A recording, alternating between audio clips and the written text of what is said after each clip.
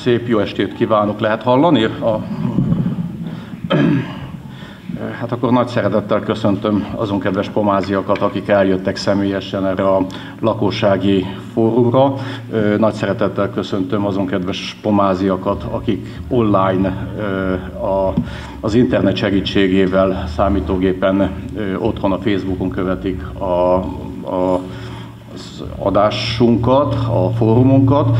Most jelen pillanatban 48, 48-an vannak online akik bekapcsolódnak a fórumba, akik tudnak kérdéseket föltenni, kollégák kint fogják a kérdéseket venni, behozzák, és fölkérjük itt fát, hogy válaszoljon, majd valahogy így nosztalgiázunk egyet, és egy ilyen, ilyen interaktív fórumot fogunk kialakítani. Azt azért szeretném előjáróban elmondani, hogy hát ez egy abszolút kísérleti adás, és, és most csinálunk ilyet először, remélem, hogy nem utoljára.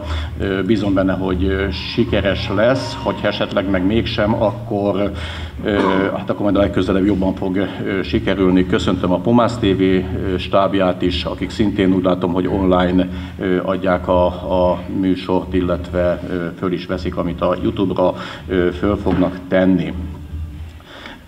És a hozzászólásokkal kapcsolatban érkeztek kérdések, mint egy 40 valamennyi, amikre úgy menet közben fogok válaszolni. Érkeznek menet közben is kérdések, amiket megpróbálunk szintén menet közben válaszolni. Aki pedig a kérdésre nem fog tudni választ kapni, mert az idő már nem fogja esetleg megengedni, akkor azoknak pedig írásba fogjuk elküldeni a választ. Ugye ez az előre föltett kérdéseknek a nagy előnye, hogy írásban meg is tudjuk válaszolni. És van lehetőség betelefonálni a, a fórum ideje alatt, az adás ideje alatt, és hirtelen nem tudom megmondani, hogy milyen telefonszámon. Bocsánat, akkor hadd segítsek, Harti Péter vagyok, alpolgármester. Tehát a 0670 885 90 90-es számon várjuk a telefonhívásokat. Köszönöm szépen. Köszönöm szépen, és kollégáknak mondanám, hogyha ezt esetleg föl tudnák tenni a fórumra ezt a telefonszámot, akkor megkönnyíteni egy kicsit a munkánkat. Tehát előfordulnak, hogy lesznek majd ilyen beszaladgáló lányok kérdésekkel, ami telefonon érkezett. A mai fórumról szeretném elmondani, hogy ez nem a szokásos közmeghallgatás, amit az önkormányzat szokott minden évben tartani a költségvetés környékén, február környékén, akkor majd lesz egy, egy meghallgatás, egy, egy közmeghallgatás. Ez gyakorlatilag a mai fórumnak az lenne a célja, hogy összeszedjük azokat a gondokat, problémákat, kérdéseket, észrevételeket, javaslatokat a kedves pomáziaktól, akik úgy gondolják, hogy, hogy az új önkormányzatnak a munkáját ezzel tudnák segíteni, illetve hát a saját problémájukat is akkor tudnák ecsetelni. Most vagyunk még költségvetés készítése előtt, tehát gyakorlatilag most lesz lehetőségünk még ezeket a, a, az elmaradásokat, ezeket a problémákat megoldani és, ecset, és, és és beépíteni a költségvetésbe is valami megoldást találni rá. Előjáróban arra gondoltunk, hogy egy rövid ismertetést fogok tartani a város jelenlegi helyzetéről, illetve az átadás átvétel óta történt fontosabb eseményekről. Bár elég részletesen beszámoltunk róla a Facebookot, csak azért mostani állapotról néhány gondolatot el szeretnék mondani. Október 13-án megtörtént a választás, gyakorlatilag az összes választókörzetbe a közösen a Városunkért Egyesület jelöltjei nyerték meg a, a választást, illetve polgármesterként 66,24%-kal én nyertem meg a választást, amit köszönök a, a pomáziaknak, és hát egy száznapos programot állítottunk össze, amit az, az alakuló testületi ülésen ismertettem is a, az itt lévő sok emberrel, hogy mi az, amit meg szeretnénk csinálni, kihangsúlyozva azt, hogy, hogy a száznapos programnak az a lényege, hogy egy költségvetési évben vagyunk, tehát költségvetés módosításra nagyon lehetőség nincsen. Általában az év végére kiszokott a kassa is ürülni, tehát nagy változásokat nem tudunk csinálni, hanem olyan programpontokat szedtünk össze, ami viszonylag kevés pénzből, kis pénzből megoldható, és a, a következő költségvetés elfogadásáig fog tartani. Azt tudtuk, hogy kevés a pénz, de hogy ennyire kevés azért azt nem tudtuk. Az átadáskor 127 millió forint ki nem fizetett számlatartozása volt az önkormányzatnak, amelyben már 68 millió forint lejárt követelés volt, 30 napon túli lejárt követelés volt, és, és utána pedig hát elég vészes ütembe érkeztek be még szállítói számlák, többek között a, a kerékpárútnak a számlája, a Mátyás Király utcai útépítésnek a számlája, a Kliszai földelhordásnak a számlája, tehát egy csomó olyan számla érkezett be, amivel hirtelen az adósságállomány a településnek egy olyan 200 millió forint, illetve azt is meghaladó összegre rúgott, és a, a, az átadás pillanatában 37 millió forint volt az önkormányzatnak a számláján, de ebből néhány napon belül tudtuk, hogy bért kell kifizetni, és, és, és a bérkifizetés az pedig egy ilyen 42 millió forintos összeget emésztett volna föl, tehát, tehát hirtelen megijedtünk, hogy talán még a bért se tudjuk kifizetni, tehát ezzel találtuk magunkat szembe. Tehát egy nagyon komoly likviditási gondokkal küzd az önkormányzat, és hát ezért voltunk kénytelenek egy likvid hitel felvételhez nyúlni, ami természetesen nem nagy örömmel tett meg a, a képviselőtestület. Hát itt szó nincs arról, hogy el akarjuk adósítani a várost, hanem azt, azt akarjuk megakadályozni, hogy nehogy az legyen, hogy bármelyik, bármelyik beszállítónk vagy vállalkozónk, aki dolgozott az önkormányzatnak, az bebalag a bíróságra és indít az önkormányzat ellen egy, egy felszámolási eljárást, vagy egy csőd csődeljárást, hát felszámolni nem lehet az önkormányzatot, de indít egy csődeljárást, mert hát akkor abból, abból nem nagyon fogunk tudni kikászálódni. És ezért is, illetve azért, mert, mert folyamatban lévő szám, folyamatban lévő pályázatai vannak az önkormányzatnak. Ugye itt említettem az előbb a kerékpárutat, említettem a Mátyás Király utcai útépítésnek a, a pályázatát, tehát amit még az előző önkormányzat indított el, amelyekre a, a, az előző önkormányzat pályázat és, és kapott is támogatást, viszont ezek a, ezek a pénzek, amik erre beérkeztek, ezek nem voltak a, az önkormányzatnak a számláján, ezek elköltésre kerültek másra. Hát ezzel lehet vitatkozni, hogy ez most szabályos volt, vagy nem volt szabályos. Lényeg az, hogy amikor beérkezett a következő szám, számla, viszont még nem érkezett meg a, az államtól az a következő támogatási ütem, akkor viszont itt megint csak fölmerült egy nagyon nagy likviditási probléma, és tetézi az egészet azt, hogy, hogy az önkormányzatnak nem sikerült teljesíteni ebben az évben azokat a vállalt bevételeket, amelyet a költségvetésbe beterveztünk. Ez mellett a kiadásoknál meg, meg hát ilyen kampány jelleggel azért elég sok minden történt pomázon. Mondtuk a kampány alatt, hogy jó lenne, hogyha minden évben választás lenne, mert mindenhol zúgnak a gépek, de hát ezeket a munkákat, ezeket ki kell fizetni, vagy ki kellett fizetni. Tehát fölvettük ezt a 200 millió forintos likvid hitelt, és gyakorlatilag a legnagyobb hitelezőket már már így ki tudtuk fizetni. Hát ugye itt azért tudni kell, hogy, hogy azok, akik bedolgoztak az önkormányzatnak, ott, ott áfa fizetési kötelezettség van, az útépítést végző cég közölte, hogy már nem kap anyagot, és nem, tud, nem tudja az útépítést folytatni, mert, mert ki kell fizetni az alapanyagot, tehát így gyakorlatilag minden azonnal át volna, hogyha ebben nem tudunk viszonylag gyorsan intézkedni.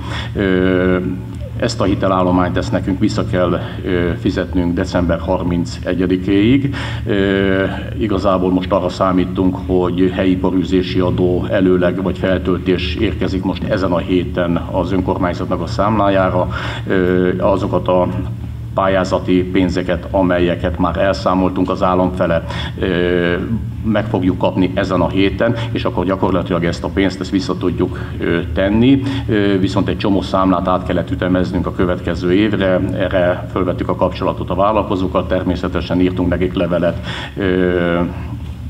költségvetési évet zártunk, vagy fogunk zárni, ilyen, ilyen ki nem fizetett számlákat átvinni a következő évre, azt mindenki tudja, hogy ez nem egészséges dolog, ugye szerepeltetni kell majd a, a mérlegbe, tehát ez, ez elég sok pénzügyi bonyodalmat fog okozni, viszont azt vállalta föl a képviselőtestület, hogy ezt az egészet ezt megpróbáljuk úgy megcsinálni, hogy december, de hogy december, március 31-ig kiegyenesítjük, és, és az azt jelenti, hogy, hogy 2020 március 20-áig nem, március 31-ig visszafizetjük a 200 millió forintos hiteltartozást, és akkor gyakorlatilag tiszta lappal tudunk neki menni, és egy más struktúrában készült költségvetést tudunk a képviselőtestület elé is letenni, tehát lényegesen takarékosabban és lényegesen jobban odafigyelve a közpénzek felhasználására fogunk eljárni.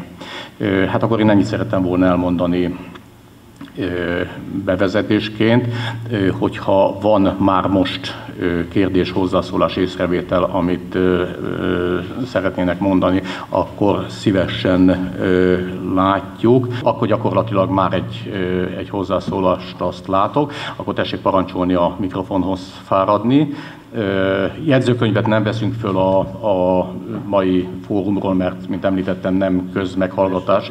Legyen kedves nekem annyit megmondani, jövő évben mennyi lesz az útépítésre és egyéb vízelvezetésekre szánt összeg, mennyit szeretnének, és mennyi lesz a valós. Lesz majd még kérdésem. Mondjam most? Lehet most, igen. Aulich utca, Pomáz Mesalia, Kökény utca, Középhát utca, Középhegy utca, Középhegy, bocsánat, Egres utca, rendbetétele, vízelvezetés, aszfaltozás, szélesítés, Aulich utcának közvilágítással való ellátása. Köszönöm szépen. Köszönöm szépen. Tehát, hogy, hogy mennyi lesz a, a költségvetésbe betervezett, útépítésre betervezett összeg. Ezt természetesen most nem tudom megmondani, mert mi költségvetést még nem kezdtük el összerakni. Ez a jövő év januárjának lesz a, a feladata. Viszont azt tudom mondani, hogy jelen pillanatban van egy folyó megnyert pályázata az önkormányzatnak. A Középhegy utca, Dankópista utca csapadékvízelvezetése, tehát a Meseliának, a Majdán Pola felüli oldalának a, a csapadékvízelvezetése elvezetése. Ezt még az előző önkormányzat indította, ezt most írtam alá a, a támogatási szerződést egy körülbelül egy két héttel ezelőtt, tehát az, az el fog indulni. Az útépítésekről pedig azt kell tudni, hogy útépítésekben egy sorrendiség lesz fölállítva, ezt a sorrendiséget ezt nyilvánosságra fogjuk hozni, tehát föl lesz a városnak a honlapján, hogy mindenki körülbelül be tudja lőni, hogy az ő, ő környékén egyáltalán mikor fog történni ilyen, ilyen útépítés, illetve közmű munka. Tehát most nem beszélhetünk csak útépítésről, ezt csak úgy lehet, hogy útépítés, csapadék, vízelvezetés, mert a kettőt nem szabad elválasztani egymástól, mert abból, abból megint csak olyan problémák keletkeznek, amit utána nagyon sok pénzből lehet csak helyre tenni. És ugyanez a helyzet a közvilágítási lámpáknak a pótlásával, ilyen több kérdést, ezt én is fogok mondani, ami érkezett be előzetesen közvilágítással kapcsolatban. Így előjáróban annyit tudok elmondani, hogy, hogy bonyolultabb egy kicsit a történet, mint ahogy, ahogy azt ö, ö, gondolja az ember, hogy hát kint, ott van egy oszlop, hát miért nem teszünk rá egy lámpát, most olyan sokba kerül egy lámpa. Utána nézettem szakembereknek, sajnos nem ilyen egyszerű a dolog, mert nem biztos, hogy ki van építve az a vezérlőszál, ami a közvilágítást működteti. Tehát, tehát nem biztos, hogy egy, egy simán fölteszünk oda egy lámpát, és akkor innentről kezdve az működni fog. Azt tudni kell, hogy ez a, ez a lámpa állomány, ez a világítás, világítótest állomány, ami föl van szerelve jelen pillanatban, ez most már olyan 20 év körüli, 2006, 2004 környékén volt, ha jól emlékszem, a, a korszerűsítés, és a vállalkozó azt jelezte vissza, hogy nagyon sok olyan jellegű műszaki problémával küzd, hogy nincs már alkatrész, tehát ez egy elavult technológia, jó lenne áttérni egy korszerűbbre, egy ledes világításra, amit abszolút pártolunk, már kollégák foglalkoznak ezzel, és egy olyan közvilágítást megvalósítani, ami úgynevezett dimmereléssel is ellátható, ami azt jelenti, hogy most éjszaka, éjjel-kettőkor mi a fenének 100%-os kapacitással üzemeltetni a világítást, akkor szépen visszavesz 70%-ra, tehát elhalványul egy kicsit, ugye ez energiát fog takarítani, megtakarítani, és abban a pillanatban, hogyha, hogyha mozgást érzékel, akkor pedig, akkor pedig megint fölerősödik száz százalékra. Tehát már ezek az okos lámpák ilyeneket is tudnak. Most egy ilyet szeretnénk megvalósítani. És ugyanide a, a közvilágítás problémakörhöz szeretném elmondani, hogy, hogy nagyon sokan jelezték azt, hogy, hogy sötét van az utcában, de nincs is képítve oszlop, meg nincs is képítve közvilágítás, hogy ott hogy lehetne megoldani. Ugye ezek sem olyan, olyan nagy problémák manapság, mert napelemes rendszereket lehet kiépíteni, ilyen például a Garat utca környékén van, ilyen gond. Megnéztük, meg lehet csinálni egy ilyen lámpatest, amit oda föl kellene szerelni, az olyan, olyan tizenvalahány ezer forint, nem, tehát azt mondom, hogy nem tétel, viszont oda kell tenni hozzá egy oszlopot, azt le kell telepíteni, ennek az oszlopnak a letelepítés ez körülbelül fél millió forintos költséget jelent, tehát, tehát mégsem olyan, olyan egyszerű és olcsó ez a történet. Valószínű, hogy tavasszal tudunk már ilyen igényeket kielégíteni, ahol pedig csak az van, hogy föl kell tenni egy egy lámpatestet, ez pedig a hálózatnak a, az üzemeltetőjével meg fogjuk tudni oldani, tehát ez nem lesz akadály. Azt hiszem, hogy nagy vonalakban ennyit tudtam a kérdésre elmondani. Tom Janovics Géza vagyok, 30 éve pomázi lakás. Világítással kapcsolatban sokat bosszankodok azon, hogy vannak lámpák, de már benőtték a fák, tehát annyira ö, körbeönték a levelek, hogy semmi se látszik az utcában a lámpából, ez az utcán sötét van. És nem tudom, mennyire van joga az önkormányzatnak megtisztítani a lámpa körüli fákat, de lényegében ez akadályozza azt, hogy a már meglévő lámpák is működni tudjanak, semmi értelme, hogy világítsanak.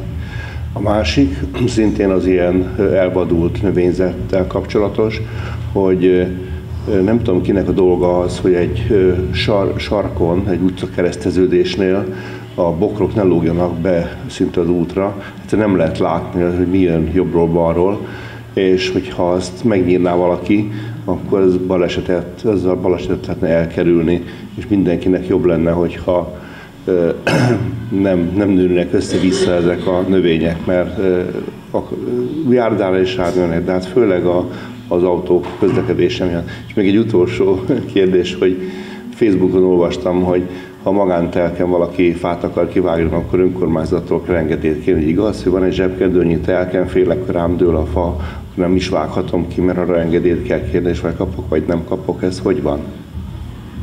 Köszönöm. Az biztos, hogy van olyan fa, aminek az en- a kivágásához engedély kell még magántelken is, hogy minden fa e, ebben nem vagyok biztos, ezt majd meg kell nézetnem szakemberrel, ezt nem, nem tudom utána nézzünk. Jó, a kérdésekre pedig a lámpák körüli gajazási munka, ugyanúgy, ahogy a, a, az elektromos hálózat körüli munka, munkának az elvégzése, gajazási munkának az elvégzése az az elektromos műveknek a feladata. Nem az elektromos művek végzi, hanem kiadja egy alvállalkozónak, aki általában ott szokta hagyni a gajakat, amikor megcsinálja a munkát. Most pont ezért kell kellett kifizetnünk valami 500 ezer forintot, mert most vagy ott maradnak a gajak, vagy pedig elkezdünk veszekedni az elektromos művekkel, hogy szállítsák el, de tudjuk, hogy még a tavaly se szállítottak el, tehát, tehát nem, nem működik ez a rendszer szolgáltatóknál, ugyanúgy, hogy a DMRV-nél nem működik, hogy kiássák a, és elhárítják a csőtörést, és utána ott van hónapokig hagyva a, a, a lyuk. Jövő héten megyünk ez ügyben, ja nem, januárban január, január elején, elején megyünk a, a vízművekkel ö, egyeztetni ö, ezeket a dolgokat. Tehát igazából azt szeretnénk elérni, hogy minden ilyen útfelbontásnál ö, az önkormányzat részéről legyen ott valaki, aki át fogja venni ezt a munkát, ö, illetve hát figyelemmel kíséri. Tehát amikor megadjuk a, a, a hozzájárulásunkat, hogy, hogy fölbonthatja az utat, akkor elő kell írni, hogy már pedig eddig neki el kell végezni az útnak a helyreállítását, és azt ellenőrizni nézni kell, tehát ebbe, ebbe nagy szigort szeretnék bevezetni. Az egyéb bokroknak a karbantartása és fáknak a karbantartása az egyértelműen önkormányzati feladat. Most az önkormányzatnak jelen pillanatban négy ö, ö, olyan közterületfenntartó dolgozója van, ö, akik ezt a munkát kellene, hogy végezzék, de nem, ö, tehát, tehát el, ezt gépesítve kell elvégezni. Ö, erre szeretnénk egy, egy ö, szervezetet létrehozni, egy ilyen non-profit Kft-t létrehozni, és ezt az önkormányzattól kiszervezni, tehát ide gépeket kell vásárolni, ez, ezt így nem lehet, hogy, hogy négy ember talicskával sétál itt a településen, mert az pont, hogy összeszedik a szemetet, iszonyú sok szemetet szednek össze, de körülbelül ez ki is ö, ö, telik a munkaidőből. Tehát itt ennek neki kell állni, és ezt nagyon tervszerűen ö, kell elvégezni. Azt még el kell mondanom, hogy az önkormányzat vásárolt valamikor nyáron egy traktort, ö, amivel azt mondtuk, hogy hú, de jó, hát gépesített közterületfenntartásról beszélünk, vásároltak hozzá hótolólapot, illetve sózó berendezést is. Ezt a traktort ezt most vitettem vissza a, a, az eladónak, mert minden van hozzá, csak egy adapter hiányzik, hogy rá lehessen tenni a, a hótolólapot, meg egy fülke hiányzik róla, hogy télen mondjuk lehessen használni. Tehát ez egy abszolút nyári készülék, és akkor most próbálunk egy olyat beszerezni, aminek legalább fülkéje van, meg ezt az adaptert hozzá megvásárolni, és próbálunk hozzá valamilyen szárzúzót, amivel az árokpartot le lehetne vágni, tehát nagyon sok feladat lenne itt, amit meg kell csinálni, hát csak levegőhöz tudjunk jutni. Tessék parancsolni. László Attila úr, és amíg Attila kijön, addig közben hagy válaszoljak egy kérdésre. Kalász elkerülő út felső része Klisovác környékén nem épült meg, az ott lévő telkek, amik érintettek voltak egy esetleges útépítés miatt, most lekerülnek-e a korlátozások, kérdezi Sátrány Gábor úr, nem tudok rá válaszolni, nem az önkormányzat készítette ezt, hanem a Nemzeti Infrastruktúra Fejlesztő ZRT, de meg fogjuk kérdezni, és írásban fogok válaszolni. Attila, fáradj ki közben, ami kijössz, addig gondoltam, hogy, hogy mondok kérdésekre választ. Szóval László Attila vagyok Meseliáról, és három dologban szeretnék nagyon röviden hozzászólni. Az egyik a Meselia közlekedésének elhanyagoltsága és lerobbantsága. Ez vonatkozik szinte minden területére a közlekedésnek, azért mert a mostan elkészült, nemrég elkészült forgalmi rendszabályozás szerint a közúti jelzőtáblákat ki kellett volna helyezni, meg se lett tervezve erre a szakaszra. Abszolút nincsen jelzőtábla, olyan állapotban vannak az útjaink, amit idén nagy mértékben rontottak az ott építkezést folytató nehézsúlyú gépjárművek, úgy össze van törve az az egysávos, kétirányú forgalmat lebonyolító meretek útszakasz, vannak róla felvételeim is, hogy az a téli fagykár után használhatatlan lesz az út. Erre külön felhívom a figyelmüket. akkor a kerülők, amik szükségesek ahhoz, hogy ott kétirányú forgalmat lehessen lebonyolítani, térről nem is beszélek, hogy ott milyen állapotok vannak, járdáról szó se lehet ott, babakocsis közlekedésre pedig járnak onnan is le babakocsival napi szinten, azok kritikán aluli állapotban vannak, és úgy csinálták meg ezt tavaly, hogy szinte nem csinálták meg. A józan ész szabályait áthágva. A az egész forgalmi állapot az javítani való, és sürgősen, mert jövőre nagy gondok lesznek ebből. Ez volt az egyik röviden. A másik, felhívnám az új képviselőtestület figyelmét, az egyenlő közteherviselésre vonatkozna, hogy az érvényben van a 23 per 2006-os rendelet, önkormányzati rendelet, 2006-os, amit okvetlenül át kell dolgozni. Ez lényegében azt szabályozza, hogy mennyi hozzájárulást kell fizetni a közutak beruházásban kér, önkormányzati beruházásban készülő szilárd burkolatú utak hozzájárulására lakosságtól, és ez 2003-as rendelet, 2006-os rendelet. Azóta nincs tudomásom, hogy egyszer is kivetették volna azt az ingatlanonként 80 ezer forintot. Ugyanakkor Pomáz többi részén útépítésre befizetett dolgot embereknek a pénze az tényleg megvolt. Itt ebben az esetben úgy kaptak nagyon sokan évekre visszamenőleg szilárd burkolatú utat, hogy semmit nem fizettek be. Ez egy nagy-nagy méltánytalan és szerintem kifogásolható dolog. A harmadik, amit röviden szeretnék elmondani, és ez nem csak a Meseli Ján, máshol is fönnáll Pomázon, és ezzel abszolút nem foglalkoztak az elmúlt években, akár mondhatom, hogy évtizedekben is. Megalkották a helyi építési szabályzatot, és annak mellékleteként szabályozták a belterületi utaknak a szélességét.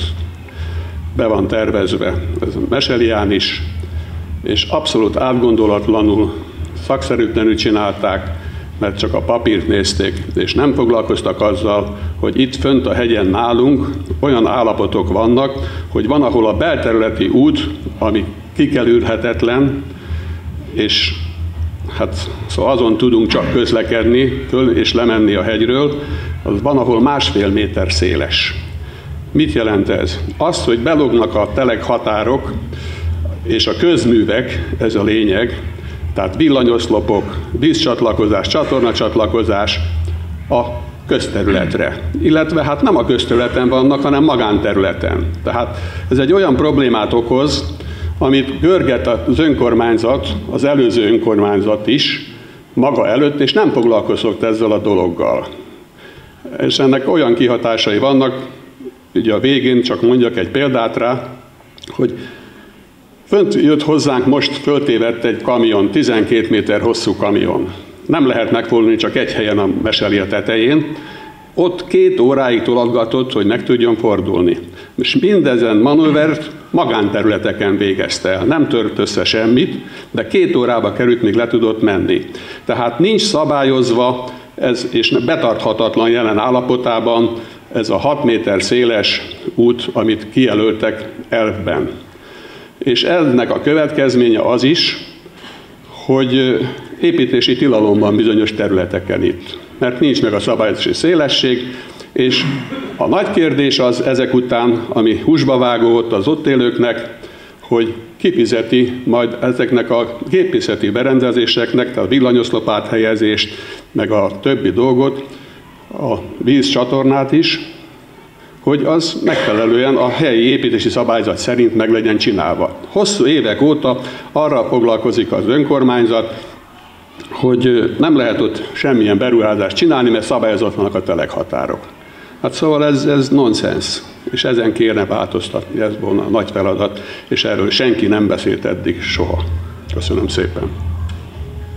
Köszönöm szépen. A helyépítési szabályzatnak a felülvizsgálata az folyamatban van, azzal már kollégák elkezdtek foglalkozni, tudjuk a problémákat, tudjuk azokat a problémákat is, hogy, hogy itt nagyon keményen el vannak az ingatlanok csúszva, tehát nem ott van az út, ahol annak lenni kellene, hanem néhány méterrel odébb, tehát igazából egy, egy olyan végeláthatatlan probléma halmazt látunk kialakulni, ami, aminek a megoldás az nagyon bonyolult lesz. Tehát a, a valóság, a földhivatali térképek és a, és a valós telekhatárok azok köszönő viszonyban sincsenek egymással. Annak idején tudjuk, hogy hogy épültek a, a, a, az utak, tehát amikor, illetve a közművek, hogy még, még az út csak ki volt jelölve két szövekkel, mondták a gépkezelőnek, hogy na, innen kezdjél el ásni, célozd meg azt a szöveget, és akkor, akkor a gépkezelő elindult, és, és, és, és ásott egy gödröt, aztán amikor volt kint egy ellenőr valamikor, mikor már a gép már az utca háromnegyed részét fölásta, akkor mondta, hogy nem jó szöveget céloztál meg, mert a mellette levőt kellett volna, akkor fogta, fordult egyet a géppel, és ment tovább. És akkor ezért van az, hogy ilyen, ilyen ív irányban vezet, van víz vezetve egyes utcákba, de ezzel, ezzel valóban nagyon sok probléma van, dolgoznak rajta kollégák, hogy, hogy mit lehet ezzel csinálni. Az biztos, hogy ez nem egy, egy rövid távú probléma lesz. Az egyelő közterviselés az utakkal kapcsolatban, amikor előttünk megcsinálták az utat, akkor nekem 80 ezer forintot be kellett fizetni, azt hiszem, hogy nagyon sokan vagyunk, akik ezt ugyanúgy elmondhatják. Tehát az út az nem egy adomány, az a lakosságnak is hozzá kell járulni, és pont egy ilyen szabályzat van most kidolgozás alatt, vagy átdolgozás alatt, ha úgy tetszik, mert majd ebből úgyis rendeletet kell csinálni, ami pontosan ezt mondja, hogy ha a lakosság összeáll és az úthoz hozzájárul, akkor gyakorlatilag az önkormányzat is hozzá fog tenni pénzt. Fönt lesz a lista, hogy milyen sorrendben szeretnénk ezeket az utakat megvalósítani, tehát ezt nyilvánosságra fogjuk hozni. Természetesen lesznek itt, itt olyan, olyan szempontok, ami, ami Hát az útépítésnek is megvan a maga ö, technológiája, hogy honnan kell kezdeni és hol kell ö, végezni, tehát ö, ezek is figyelembe lesznek véve, ö, de ebből lesz egy ebből lesz egy ö, helyi ö, ö, rendelet, majd ö, ezt meg fogjuk ö, oldani. A, az, hogy, az, hogy a építkezésre behajtó gépjárművek tönkreteszik a, a közutat. Ebbe viszont azt mondom, hogy, hogy van lehetőségünk változtatni, ugyanis a közútkezelői hozzájárulás azt mi adjuk hozzá, hogy egyáltalán behajthasson az a gépjármű oda, és szállítson oda építőanyagot, viszont hogyha ezt lefotóztad, és, és erről neked dokumentációd van, hogy összetörte az utat, akkor ezt, ezt légy oly kedves valahogy megosztani velünk is, mert abban a pillanatban tudunk eljárni vele.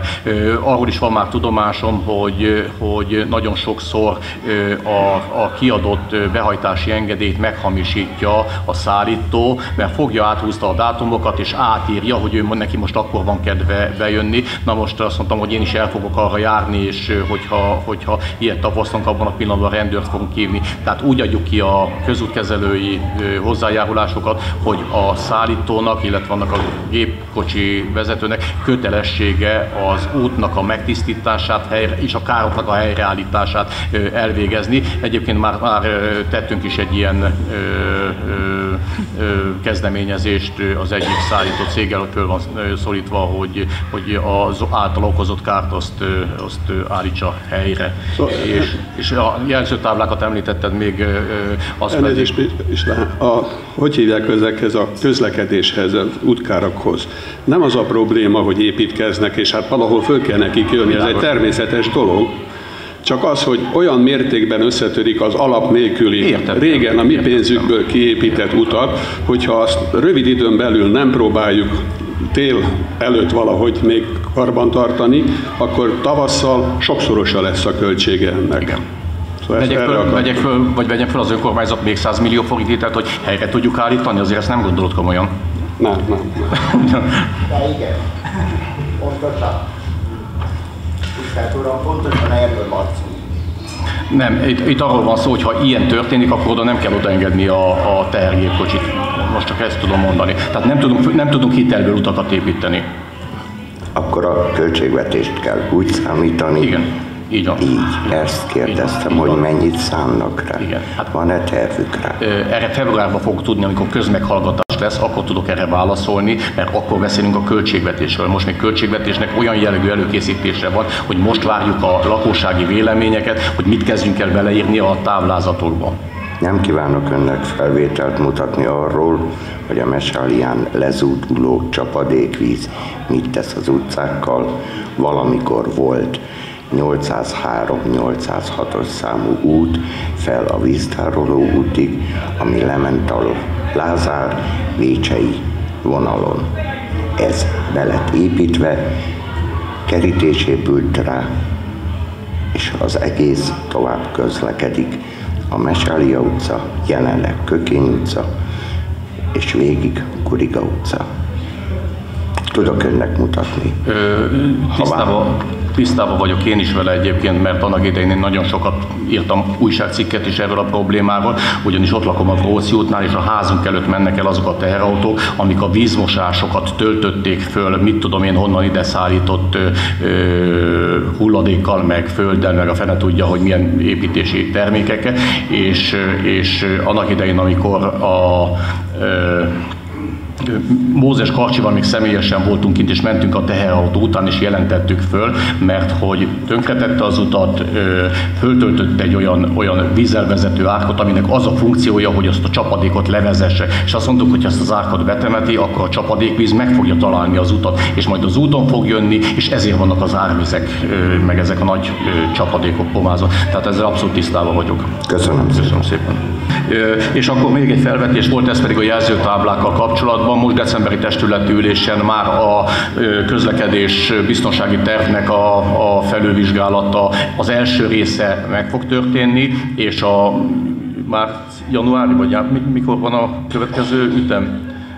De valamikor tavasszal jön a második ütem, a felülvizsgálat második üteme, mert azért sok helyen szeretnénk változtatni, például a Lámpa utcai kereszteződést helyre szeretnénk állítani, hogy más nem mondjak. Tehát, tehát most, a, most, amit azonnal meg tudunk csinálni, illetve a második ütemben pedig a, a táblázásnak a, a, az elvégzését meg tudjuk csinálni. Közben érkeznek kérdések telefonon, illetve online is. Az első kérdés, amit a kezembe került, illetve kaptam, tervben van-e a szilveszteri tűzijáték használatának korlátozása? Sok gyerek nagyon várni szokta, ezt többen is kérdezték.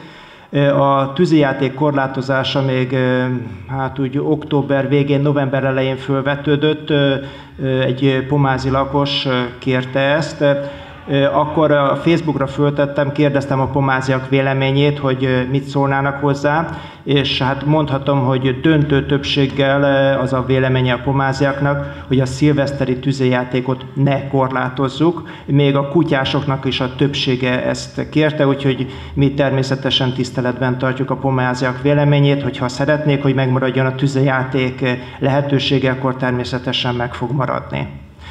A másik kérdés, történik-e valami a vaddisznó kérdéssel kapcsolatban a Budakalász felüli oldalon? Ezt Sashegyi András kérdezi. Nagyon bonyolultnak tűnik, úgy látszik a hivatal számára ez a kérdés, ami pedig egyébként egyáltalán nem bonyolult. Pomázon tudni kell azt, hogy két vadásztársaságnak van lehetősége a vadászatra. A választó, választó vonal, az a Derapataknak a vonala. Az egyik oldalon, a Meseléa felé eső oldalon, ott ö, ö, teljesen rendben van a, ö, az engedélyek kiadása. Sajnos a másik oldalon a hivatal nehezen tud megbirkózni azzal, hogy az engedélyek rendben legyenek. A, Tudomásom szerint egyébként ebben a pillanatban már ott is lehet vadászni, de ennek az információnak a pontosságára nem esküszöm meg.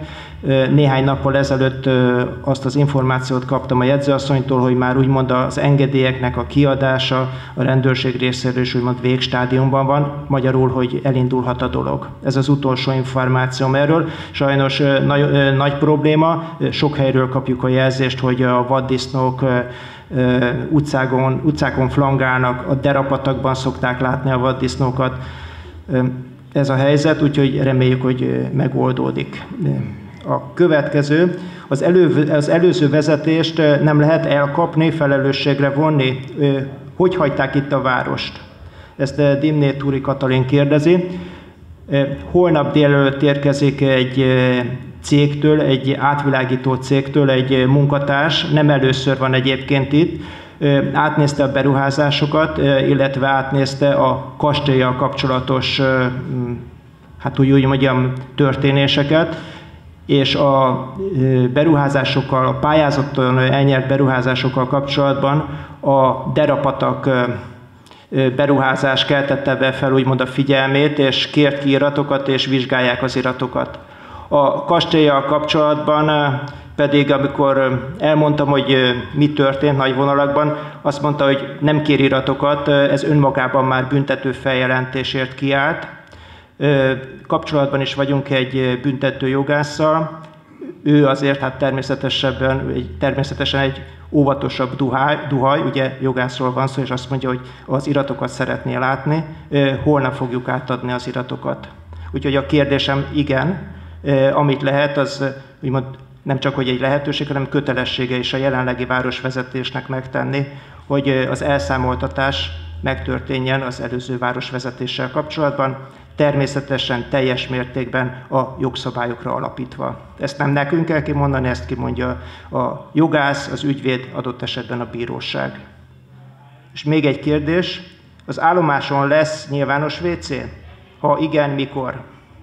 És az állomással kapcsolatban, ugye ezt eh, nyilván tudják a pomáziak, nem pomázi tulajdonban van, de ez egyáltalán nem jelenti azt, hogy nem teszünk meg mindent annak az érdekében, hogy eh, ott is nyilvános WC legyen. Talán emlékeznek rá pomáziak, hogy eh, az elmúlt évben aláírások gyűjtésével tudakoltuk a pomáziak véleményét, akarnak-e nyilvános WC-t. Egy néhány hétig gyűjtöttük az aláírásokat, három ezeren választották azt, hogy igen. Ezek után nem is lehet kérdés, nem is lehet opció számunkra az, hogy legyen-e vagy ne legyen, mert a pomáziak azt mondták, hogy legyen. Nekünk pedig az a dolgunk, hogy akkor azt megcsináljuk. De ebben kapcsolatban a polgármester úrnak adom át a szót, mert ő, ő már a megoldások iránt kutakodott, és elmondja, hogy milyen lehetőségek vannak ebben kapcsolatban. Tehát most, most megkérdeztük tőlük, hogy, hogy szeretnénk oda egy ingyenes wifi-t létesíteni, hogy az utazó közönségnek tudjunk ingyenes wifi-t adni, a, akik, akik várják a vonatot meg a buszt és, és igazából ennek csak annyi lenne a feladata a, a cégnek, hogy, hogy ennek biztosítson egy, egy olyan helyet, ahol ezt föl lehet szerelni az épületére, és egy minimális áramot biztosítsanak hozzá, de minden egyéb ö, ketyere az pályázati pénzből, illetve önkormányzati finanszírozásból fog menni, és hát erre válaszoltak, tehát innentől bejöttek a Zsák utcánkba, úgyhogy helyszíni egyeztetést fogunk ö, kezdeményezni, és ha már ott vagyunk, és ha már szóval velünk a tisztelt szolgáltató, akkor viszont mindjárt megkérdezzük, hogy egyrészt a régi WC épület, ami, ami ott van, amit meg kellene csak nyitni, az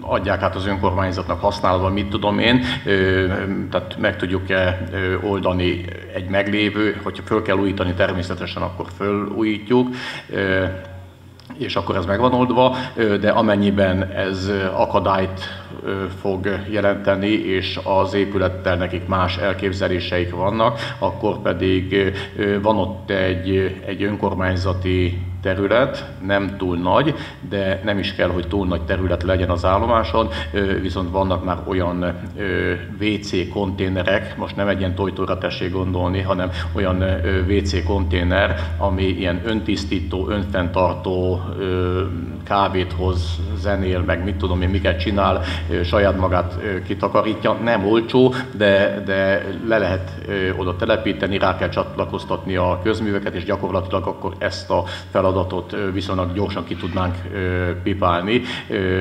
Mikorra találkozunk a, a hévesekkel? Január elején találkozunk, tehát a január első napjaiban találkozunk a, a BKV, vagy MÁP képviselőjével, és, és akkor gyakorlatilag erre fogunk tudni már valami, valami irányba el tudjuk indítani ezt a, a kérdést.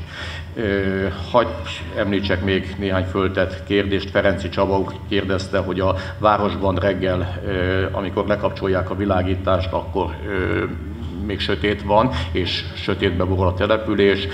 Az, első, az egyik első intézkedés az volt, hogy gyorsan írtunk egy levelet az elektromos műveknek, hogy, hogy azonnal szeretnénk, hogy, hogy a ne az óra vezérelje a villanynak a lekapcsolását, hanem, hanem a sötét meg a világos kérdése. Ezt beletettük a száznapos programunkba is.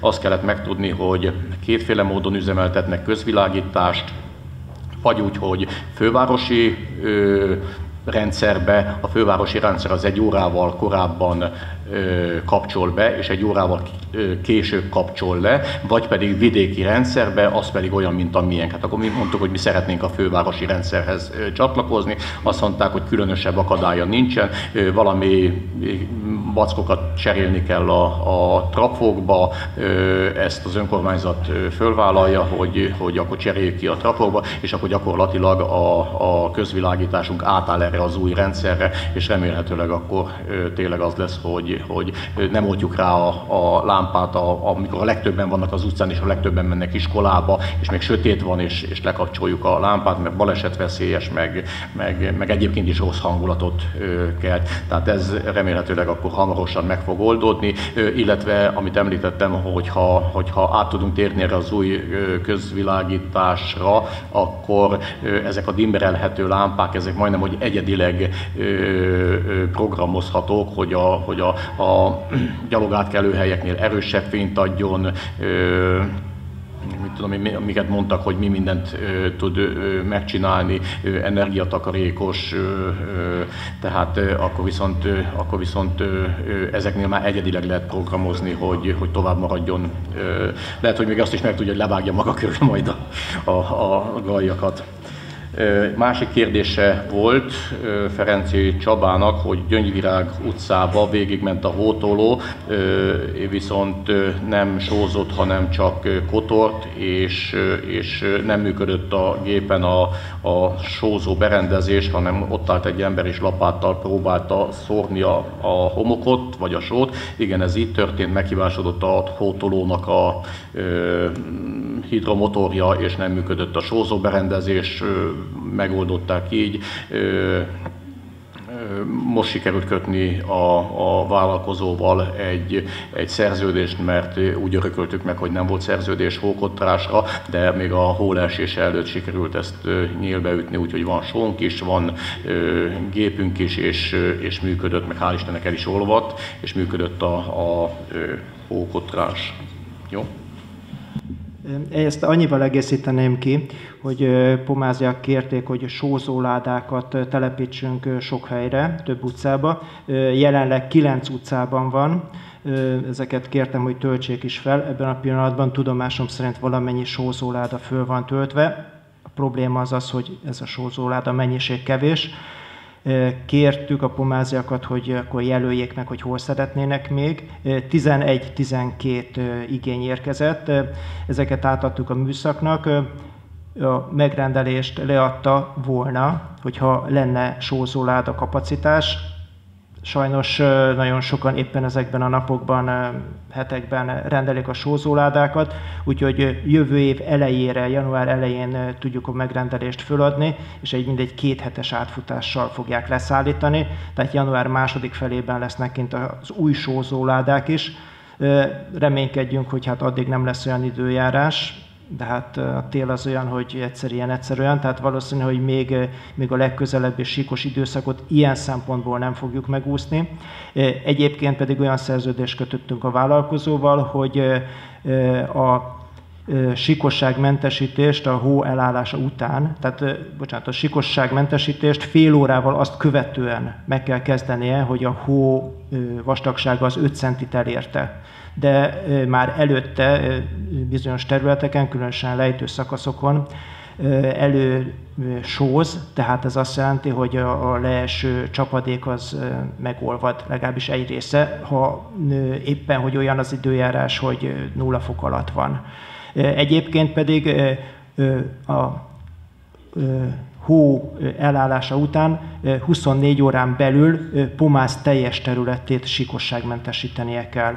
Ha nem ezt tapasztalják a pomázák, akkor kérem, hogy jelezzék, mégpedig kérni fogjuk a vállalkozót, hogy a szerződésben foglaltaknak megfelelően csinálja a, végezze a munkáját. Hogyha nem, akkor, hogyha lehetőségünk van rá, máshonnan is kérünk olyan munkást, olyan vállalkozót, aki a sikosságmentesítést elvégzi, akkor viszont a számlának, a végszámlának az összegéből ezt levonjuk, de reméljük, hogy erre nem kerül sor, és reméljük, hogy jó munkát fog végezni.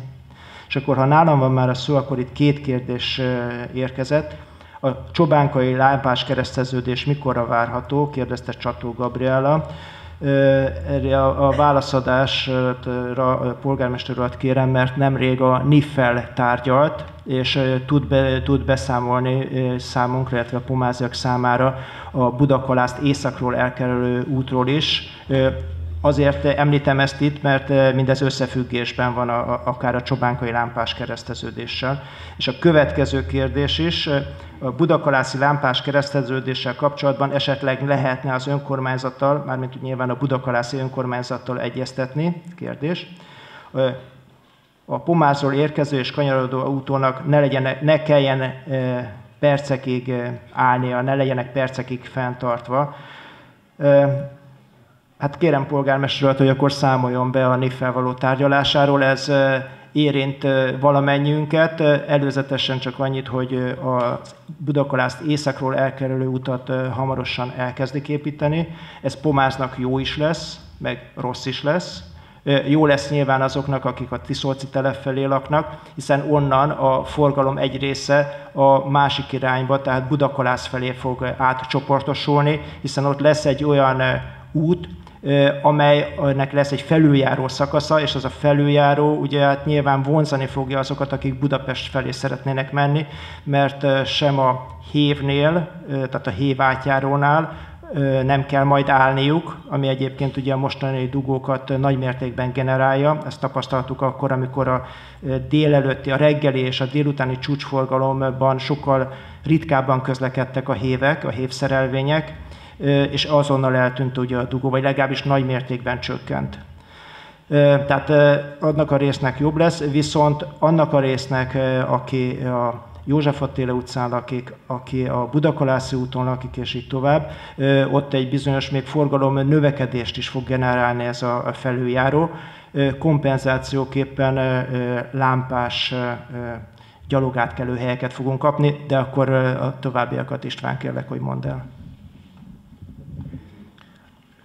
or Tehát a NIF-fel tárgyaltunk, de ez nem a NIF-hoz tartozik, hanem ez a Magyar Közúthoz tartozik. A Magyar Közút tervezi és fogja kivitelezni ezt a zsilipelést Csobánkánál. Hozzáteszem egyébként, hogy, hogy a problémát nem fogja megoldani. Ez igazából csak arra lesz jó, hogy, hogy ha valaki beüti a vazéba, hogy Budapestre szeretne menni, és a vaze fölismeri, hogy, hogy ott egy lámpás kereszteződés van, aminél föltorlódnak az autók, akkor lehet, hogy számol egy másik utat, de ebből, ebből nem leszünk előrébb, mert most a, akik a Pilisi medencéből rajtunk keresztül akarnak Budapestre bejutni, azok hát most ők vagy a tízes úton állnak sorba, vagy, a, vagy rajtunk keresztül menve állnak sorba. A zsilipelés az annyit fog segíteni, hogy, hogy a pomáziak be tudnak csatlakozni az útról, és rá tudnak hajtani a, az útra. Számítások szerint 1200 gépkocsi növekmény várható, hogyha elkészül ez a Budakalász-Pomász közötti ö, elkerülő vagy félelkerülő út. Ez gyakorlatilag a Pomázi 1111-es utat köti össze a 11-es úttal. Ugye azt mondanom se kell, hogy hát a megoldás az mindenféleképpen az lesz, hogy, hogy m 0 és a sorrendnek is ennek kéne lenni, hogy m 0 út, M10-es útnak a, az elkészítése, és utána beszélhetünk itt Pomázon az elkerülő útról, hogy szükség van-e rá, mert most aki Pilis Csabáról megy be Budapestre, az is rajtunk keresztül jön. Hogyha meg lenne az M10-es, vagy elkészülne az M10-es, akkor gyakorlatilag nem kéne rajtunk keresztül menni, hanem menne egyenesen rá, menne a nullásra, és onnan ott van, ahol akar. Ennek a kivitelezése azt mondták, hogy az körülbelül 10 év, ami azt jelenti, akár ez 20 év is lehet, tehát ebbe, ebbe abszolút nem vagyok nyugodt tehát nem lesz ez egyszerű, viszont annyi jó hír van, hogy, hogy Pomász kap egy másik kiáratot a 11-es út irányában. Nagyon sokan jelezték, hogy, hogy jó lenne, hogyha az ipartelepen megnyitnák a Hévát járót, és lenne még egy lehetősége a településnek. Ugye ez azért lett annak idején lezárva, mert 72 körül ott volt egy halálos baleset, és akkor zártpályásították a, a hévvonalat, és, és ezért nem engednek ott átmenni autókat. Azt már csak úgy mellékesen mondom, hogy, hogy az utak meg magánkézben vannak, tehát nem is önkormányzati tulajdonú utak vannak, hanem magánútot, meg nem is lehet átvezetni forgalmat. Viszont, hogy ez a felüljárós rendszer elkészül, akkor Pomáznak lesz még egy kiárata, tehát nem kell Budakalász fele beállni a, a lámpás kereszteződésbe. Budakalász önkormányzatával egyébként már fölvettük a kapcsolatot, már tárgyaltunk is. Azt mondom, hogy elindultak a tárgyalások, hogy tudjunk valamit azzal kezdeni, hogy, hogy hogy valamit csináljanak már a lámpájukkal, az lenne a legjobb, ha kikapcsolnák, mert akkor működne a, a, a forgalom. Tudjuk, hogy ezt a lámpát ezt azért tették oda, hogy, hogy ugyanúgy zsilipelje az átmenő forgalmat, és hogy ne Budakalászon menjenek át az autók, hanem menjenek másfele, és hát mondtuk, hogy, hogy jó, most az emberek nem azért mennek autóval valami fele, mert, mert, mert valakivel ki akarnak szúrni, hanem mert dolguk van nagy valószínűséggel, és lehet ezt nehezíteni, de attól még be kell jutni Budapestre, és el kell jutni az úti célra. Tehát, tehát igazából az lenne jó megoldás, hogyha ebben, ebben meg tudnánk egyezni. Polgármester úr Budakalászon nyitott volt, de azt mondta, hogy erről beszéljünk, tehát ez, ez mennek ezek a, a tárgyalások és hát természetesen nekünk is vannak elképzeléseink, ezt még nem akarom elkiaválni, mert a, a Magyar Közútnak a szakértőjével még, még nem tudtunk egy, egy hosszabb egyeztetést csinálni, csak amikor volt a NIF tárgyalás, akkor már találkoztunk személyesen, és mondtuk, hogy, hogy feltétlenül üljünk le, beszéljük meg, mert vannak itt javaslataink a körforgalommal kapcsolatban is, van javaslatunk itt a, a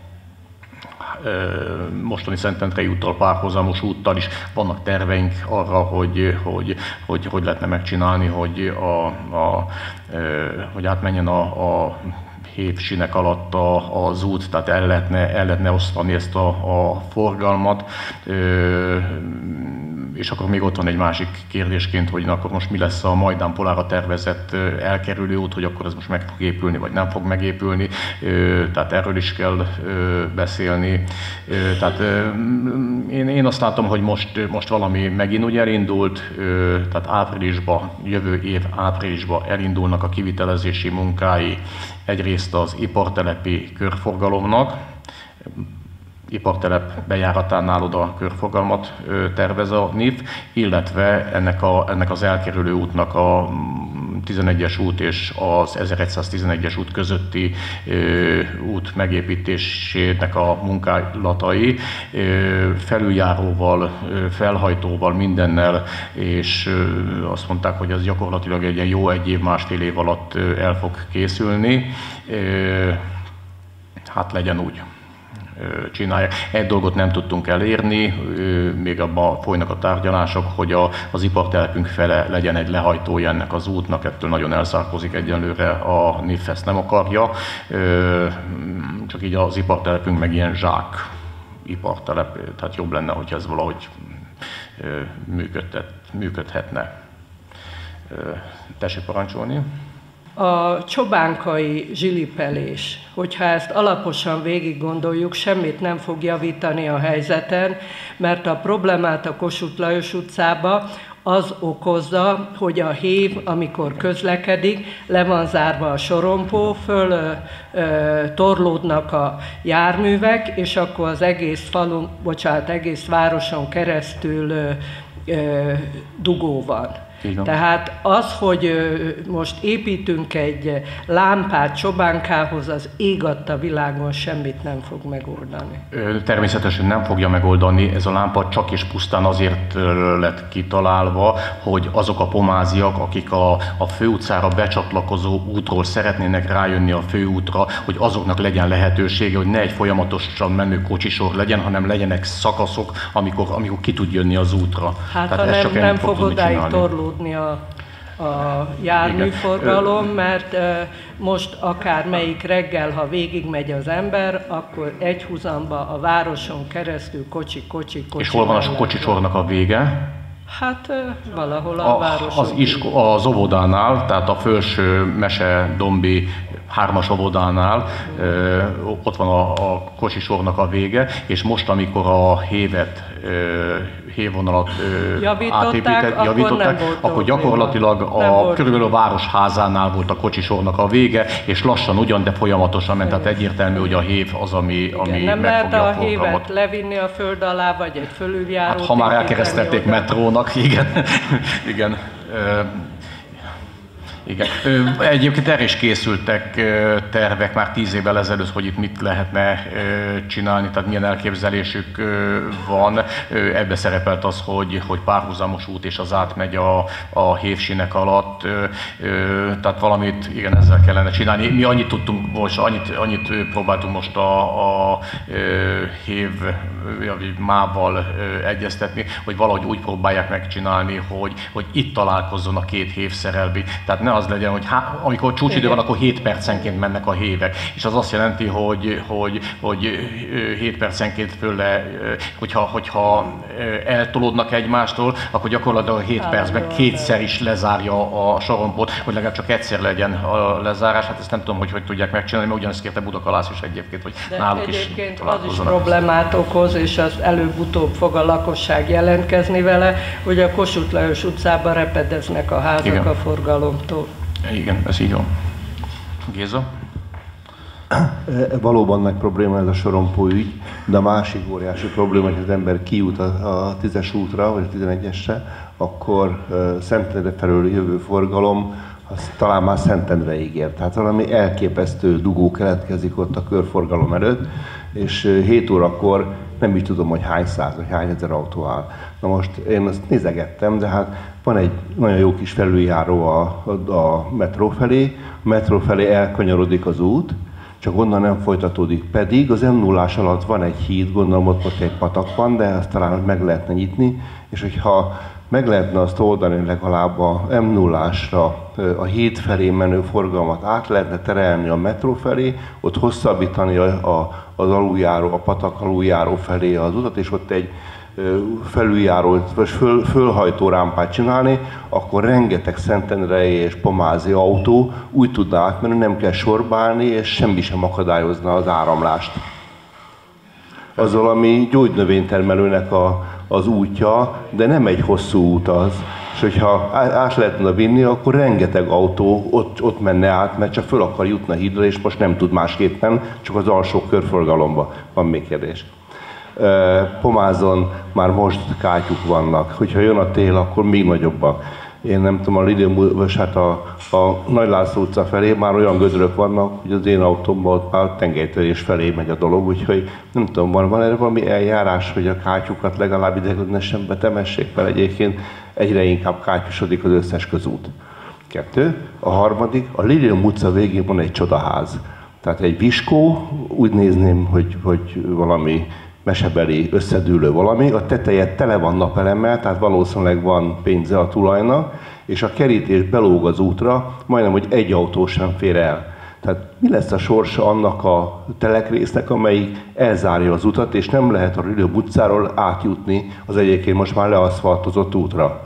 Pedig hát az nem egy nagy, hát gondolom, amikor rendezni kell a, a 6 méter széles utak problémáját, de hát ott nyilván aszfaltozni is kéne, és el kéne, ki kéne sajátítani abból a telekből, ahol egyébként dzsumbúj van, őserdő van, tehát nem hiszem, hogy használ, nem, nem, nem gyümölcstől, meg zöldségtől vennél az önkormányzat a területet, hanem a közlekedés érdekében, köz, közcél érdekében. És az utolsó, hogy a szelektív hulladékgyűjtés egy darabig volt, aztán megszűnt és hát most Szentendrére meg, meg a mindenféle, mindenfelé kell elvinni a szelektív hulladékot, az ember szívesen gyűjtené. Nem elég, hogy kiárnak a sárga-zöld kukát összegyűjteni. Én szívesen elvinném, csak nincs hova. Az Osam mellett is megszűnt, a, a, a fönn ott a, a Vörösmarty út környékén is megszűnt, több felé megszűnt, pedig voltak.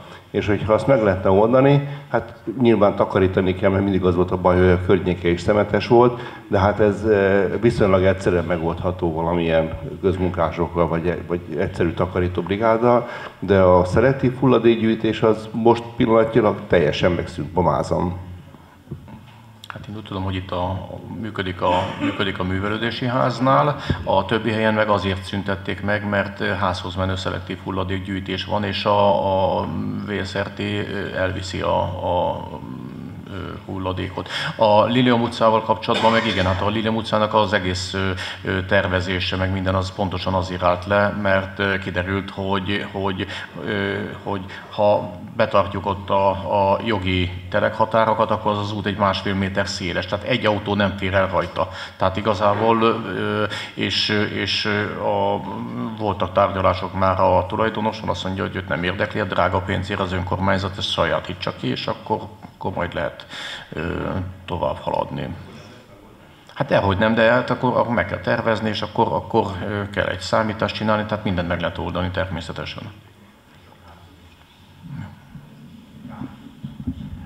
Egy pillanat türelmet kérek, látom, hogy az úr jelentkezett, de egy-két kérdés érkezett, úgyhogy arra válaszolok, és akkor utána.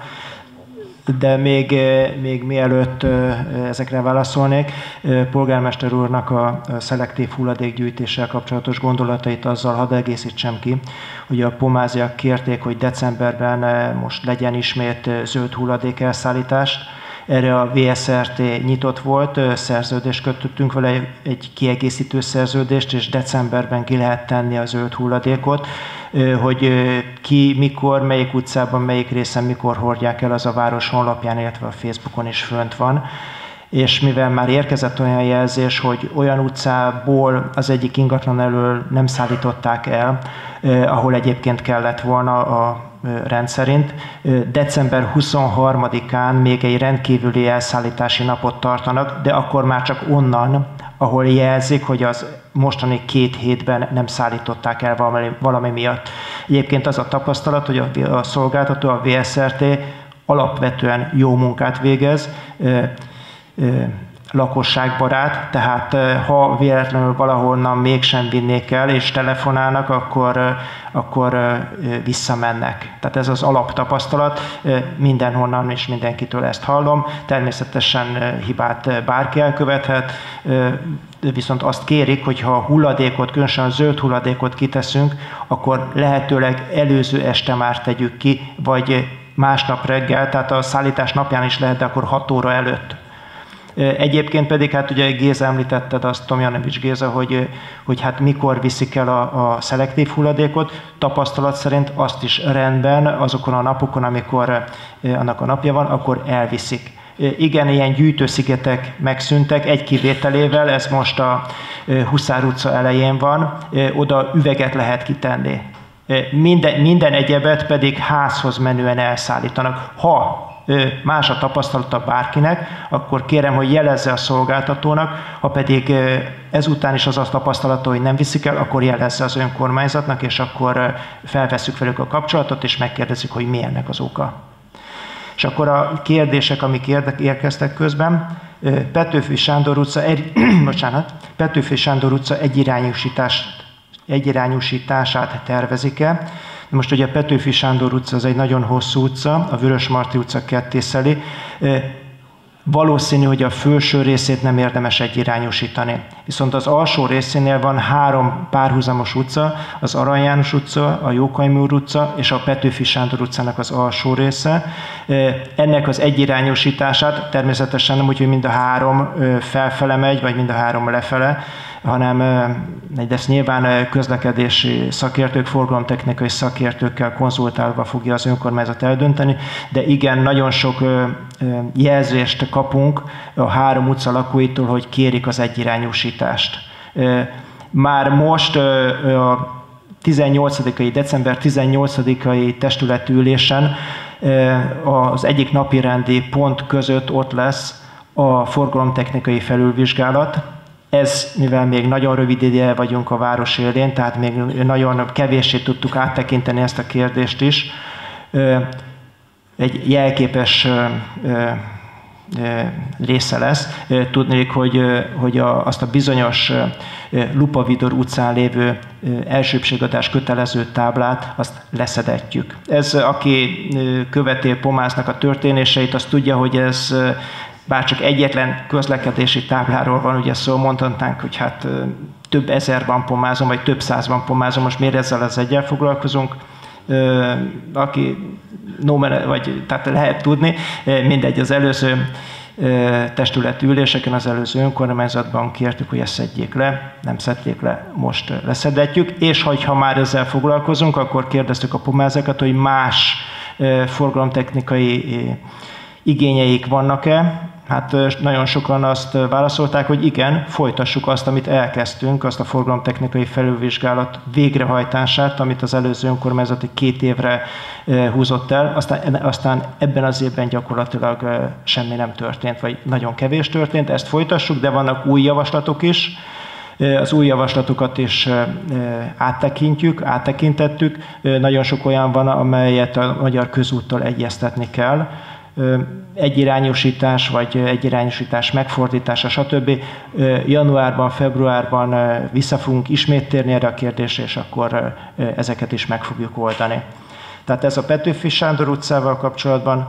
Az iránytaxi bevált-e? Kérdezi valaki. Hát ezt mi kérdezzük a pomáziaktól, de kíváncsiak vagyunk rá, hogy hogyan működik. Az bizonyos, hogy ez csak egy kezdet. A programunkban benne van a buszjárat, a helyi közlekedésnek az egész városra való kiterjesztése azokon a helyeken, ahol ez a pomázák igénylik, például a temetők felé, és mindenképpen az iskola buszjáratot be fogjuk indítani.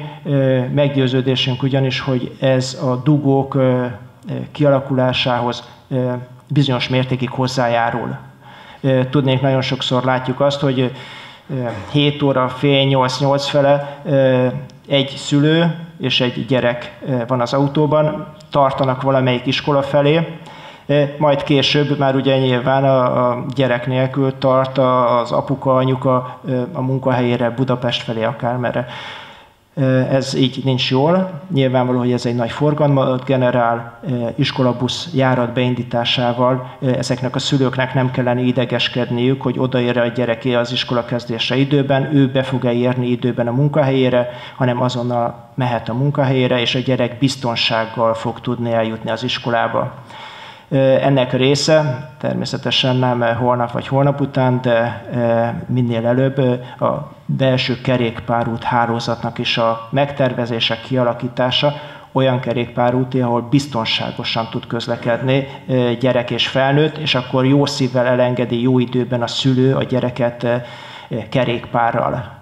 Most ezt nem teszi meg, mert azt mondja, hogy mondjuk a Benicki utcán, Kossuth utcán eh, kerékpárral közlekedni életveszélyes. Én naponta közlekedem ott, eh, nem volt még balesetem, de a gyerekemet én sem merném elengedni. Úgyhogy jogos a szülőknek a félelme. És a harmadik kérdés, a József Attila utca és a Dózsa György sarkán az úttesten lévő aknafedő megsüllyedt, komoly repedést okoz a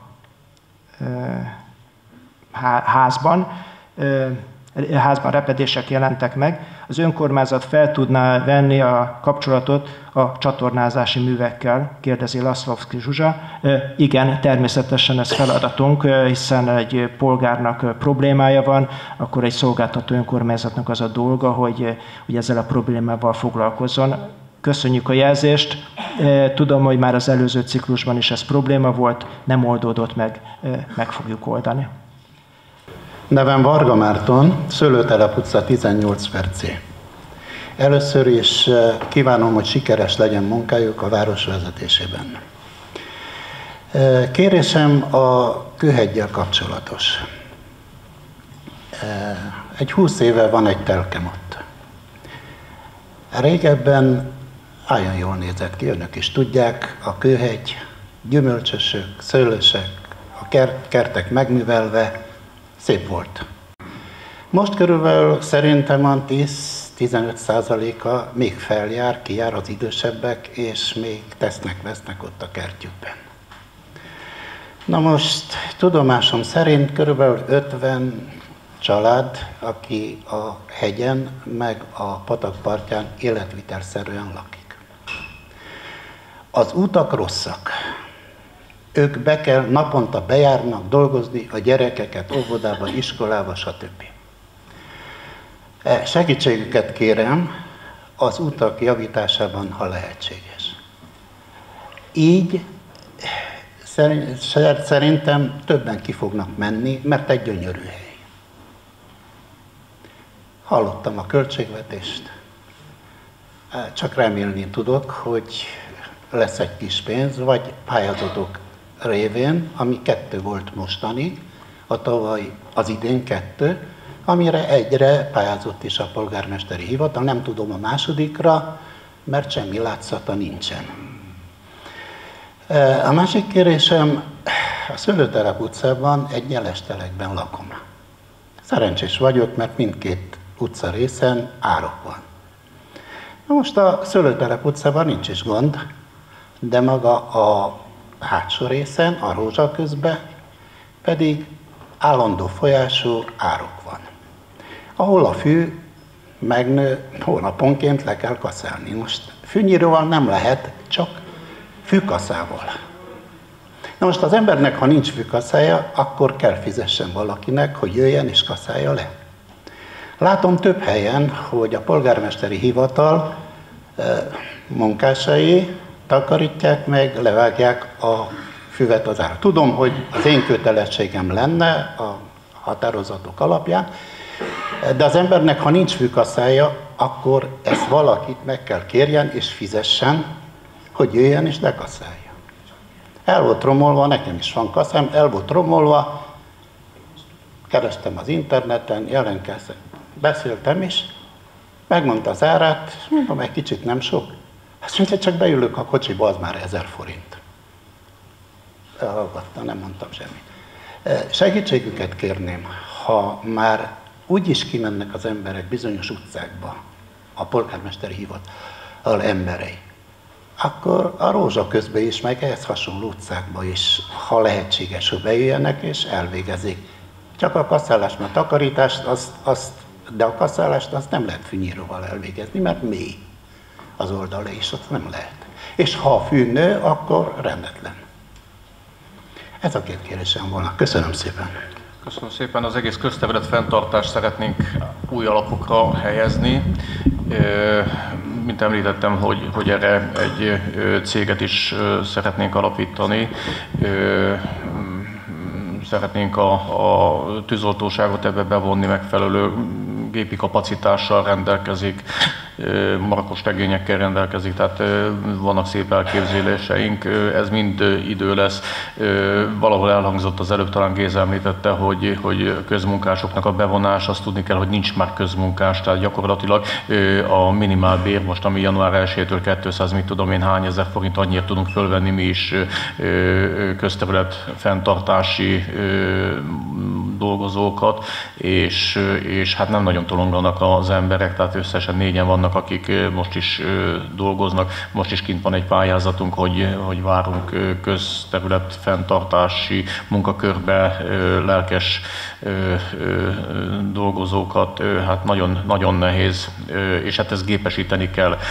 Én azt tervezem, mint amit a kampányban is ígértem, és amit csináltunk is, hogy, hogy rendszeres ilyen polgármesteri utcabejárásokat fogunk tartani, és hát remélhetőleg eljutunk minden utcába, és ugye ez pont alkalmas arra lesz, hogy na akkor azt csináljátok meg, azt csináljátok meg, tehát lesz egy ilyen, ilyen ráhatás, aztán hát előbb-utóbb csak látszatja is lesz már ennek a, a tevékenységnek.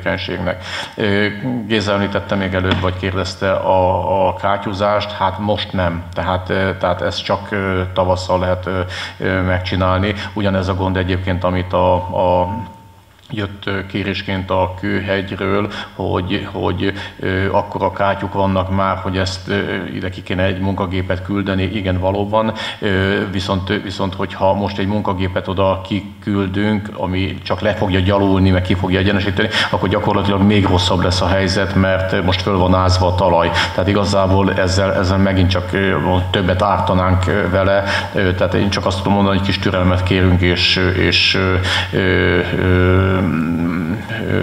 tavasszal, tavasszal, hogyha az idő meg fog engedni, akkor, akkor elsőbséget fognak élvezni természetesen ezek. Mert ez viszont egy kevés pénzből egy munkagép végigmegy és megcsinálja a, az útnak a, a legyalulását, és utána egy, egy henger végigmegy és, és le is tömörítni, mert nélkül semmit nem ér. Tehát ezt most, amikor, amikor ilyen, ilyen vizes a terület, akkor, akkor ezt nem szabad megcsinálni. Közben hagyj válaszoljak én is néhány kérdésre, mert hát nálam van itt 40 valamennyi. Vörösmarty lakótelep környékéről Szegezdi Gabriella kérdezte, hogy akarunk-e csinálni valamit a fitness parkba lévő nem oda való egyénekkel, akik miatt a gyerekek nem tudják rendeltetésszerűen használni a, a parkot, és itt megemlítette a, a, az ott italozókat elsődlegesen. Igen, tehát továbbra is tervezzük, hogy városőrséget fogunk létrehozni, és a városőrség, aki 24 órába egyrészt járőrözni fog a településen, másrészt pedig az önkormányzati rendeleteknek a végrehajtója lesz többek között az ilyen teherautós behajtásokat is ki tud menni folyamatosan ellenőrizni, és, és nézni tudja, hogy, hogy csinál-e valami kártát gyakorlatilag, és hatósági jogkörre rendelkező szervezetről van szó, tehát hathatósan be tud avatkozni. Ugye ez is egy kis idő, amíg ezt a, ezt a szervezetet létrehozzuk. Árvalányha és Tél utca sarkán Birgésné kérdezte, hogy hónapok óta megrepett az aszfalt és a talajvíz jön föl. Ez valószínű talajvíz Majdán Ponáról, ahogy jön a víz, azt látja csordogálni, majd ránéz ránézünk, hogy ez, ez tényleg az, amire gondolunk. Ugyanúgy kérdezte a Tél kapcsolatban, hogy nagy esőzések lemossák a Majdáról a köveket, árkokat nem tisztítják, parkolási gondok vannak, és a, és a tél utcára pedig ráhordja a köveket, ami, ami balesetveszélyes, és, és ebben kér segítséget. Ránézünk erre is, erre a területre is. Igazából én nagyon nem vagyok híve az ilyen martaszfaltos útépítésnek, ráadásul Don területen ezt nem ide találták ki. Martaszfalt az egy mezőgazdasági területre kiválóan alkalmas most karban kell tartani, ennél olcsóbb út nincsen, a sárnál biztos, hogy jobb természetesen, de inkább azt próbáljuk szorgalmazni, hogy, hogy rendes aszfaltos utat kiépíteni kászegéllyel, és, és nem ilyen ideglenes megoldásokat, mert annak nincs értelme, hogy most 4 millió forintért megépítünk egy utat, az első eső lemossa, és utána megint 4 millió forintért visszahordjuk, amit lemosott az eső. Tehát most, most ezek mentek azért egy jó hosszú ideig. Sirály utcából Schmidt Margit érdeklődött, hogy vettek egy építési telket, és van egy furt kutyuk, de nem kapnak építési engedélyt, mert nincs vezetékes víz. Mikor lesz a Sirály utca, az az Orlovácon van, nem tudom, meg fogjuk nézni helyi építési szabályzatok mit mond, illetve az oték mit mond, tehát majd írásban fogok válaszolni. Huszár utcába Sembickiné kérdezi, hogy, hogy rossz a közvilágítás, és hát ő is megemlíti, hogy reggelente túl korán kapcsolják le a, a közvilágítást, tehát erre már válaszoltam, hogy ez ezt folyamatban van. Matus László úr kérdezte, hogy több e-mailt írt a terület, illetve a képviselőjének, Nagy István úrnak, de akkor ezt Nagy István úr majd biztos továbbítani fogja. Gyémánt Csontos Lívia kérdezi, hogy a Verdi és a Beethoven utca között a patakparton sár van, japán keserű fűvel kapcsolatban milyen elképzeléseink vannak.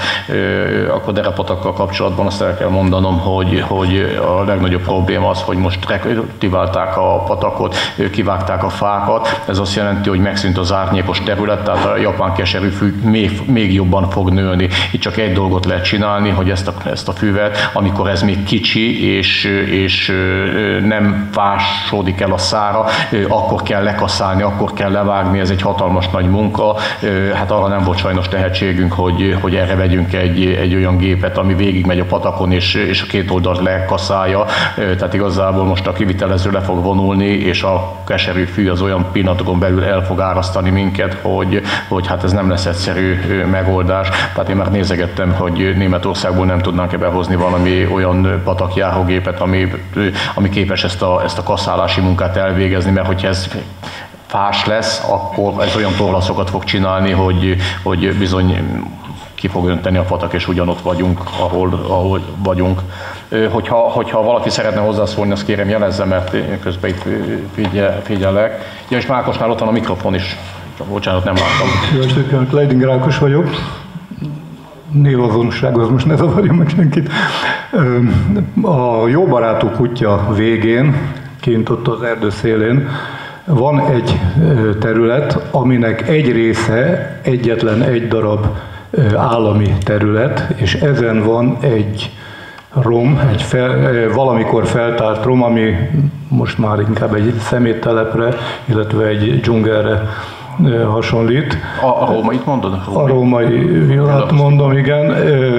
Ugye itt egy-két évvel ezelőtt is már voltak ilyen én inkább ilyen porintésnek nevezném, ugye a partnerségi program keretében kikérdezték a lakosságnak a véleményét, na most nem az fáj, hogy az én ezzel kapcsolatos véleményemet azt, azt abszolút figyelmen kívül hagyták, de most mellékes, tehát a lényeg az, hogy az önkormányzatnak nyilván nem holnap, hanem így belátható időn belül van-e esetleg ezzel kapcsolatban valamiféle elképzelése. Meggyőződésem, hogyha ez helyre lenne téve, akkor az ott egy nagyon kellemes olyan része lenne Pomáznak, ahova környékbeliek, de akár távolabbról jövők, vagy Pestről innen-onnan kirándulók is nagyon szívesen megállnának, és ez egy, ez egy kellemes színfoltja lehetne Pomáznak. Ezzel kapcsolatban annyit mondanék el, én nekem egy-két éve fixa ideám volt, miután azon a területen vannak érintettségeink, hogy azt én nekiállok, és ott azt kipucolom. Kihívtam a régészeket, hát a válasz az az volt, hogy ugye az úgy jó, ahogy van, Hát az a világ azért már megszűnt, hogy most hátizsákba elviszük a köveket, mint régen a várakból, és akkor mm, nem marad semmi. Azt mondták, az úgy jó, hogy van benőve. Én azt gondolom, hogy ez többet érdemelne. A probléma az volt, hogy addig, amíg ennek konkrétan nincs gazdája, aki ezt fölvállalja valamilyen szinten, addig ugye jobb ezt elrejteni a világ szem elől. Én nekem ezzel szemben az a véleményem, hogy ezt igenis megmutatni, láttatni kéne, és ez pomáznak egy kellemes és, és hasznos területe lehetne a későbbiekben. Köszönöm szépen. Köszönöm szépen. Még jánykoromban, amikor képviselő voltam 90 és 94 között, akkor, akkor én nekem az nagy színfájdalom volt az a Villa Rustikának az állapota, és, és a Sashegyi iskolával, Juhárbarikával annak idején meg is állapodtunk, hogy, hogy Juhárbarikáik vállalnának egy védnökséget a terület fölött, és, és itt szerveztem is egy ilyen kis takarítást, ott, tehát kipucoltuk egy kicsit azt a területet, a romterület láthatóvá vált. Tettem is, ahol volt kint a, a régészek től, és hát azt kell mondani, hogy bizony igazú volt a régészeknek, mert azt mondták, hogy ha ez így marad ez a terület felügyelet nélkül, akkor tényleg széthordják a köveket, és szét is hordták, és gondolom, hogy azért mondták, hogy most ezzel, hogyha nincs olyan hosszabb távú elképzelés, akkor, akkor ez, ez így van jó helyzetben. És a kérdésedre visszatérve, hogy önkormányzatnak ezzel kapcsolatban van-e valamilyen elképzelése, akkor arra most csak csak azt tudom mondani, hogy jelenleg nincsen, de lesz. Köszönjük az ötletet. Közben ismét érkezett néhány észrevétel, illetve kérdés telefonon, illetve Facebookon. Az egyik észrevétel, hogy kevés a havi egy szelektív hulladékszállítás, a művelődési háznál csak üveget lehet lerakni. Ezt többen is észrevételezték.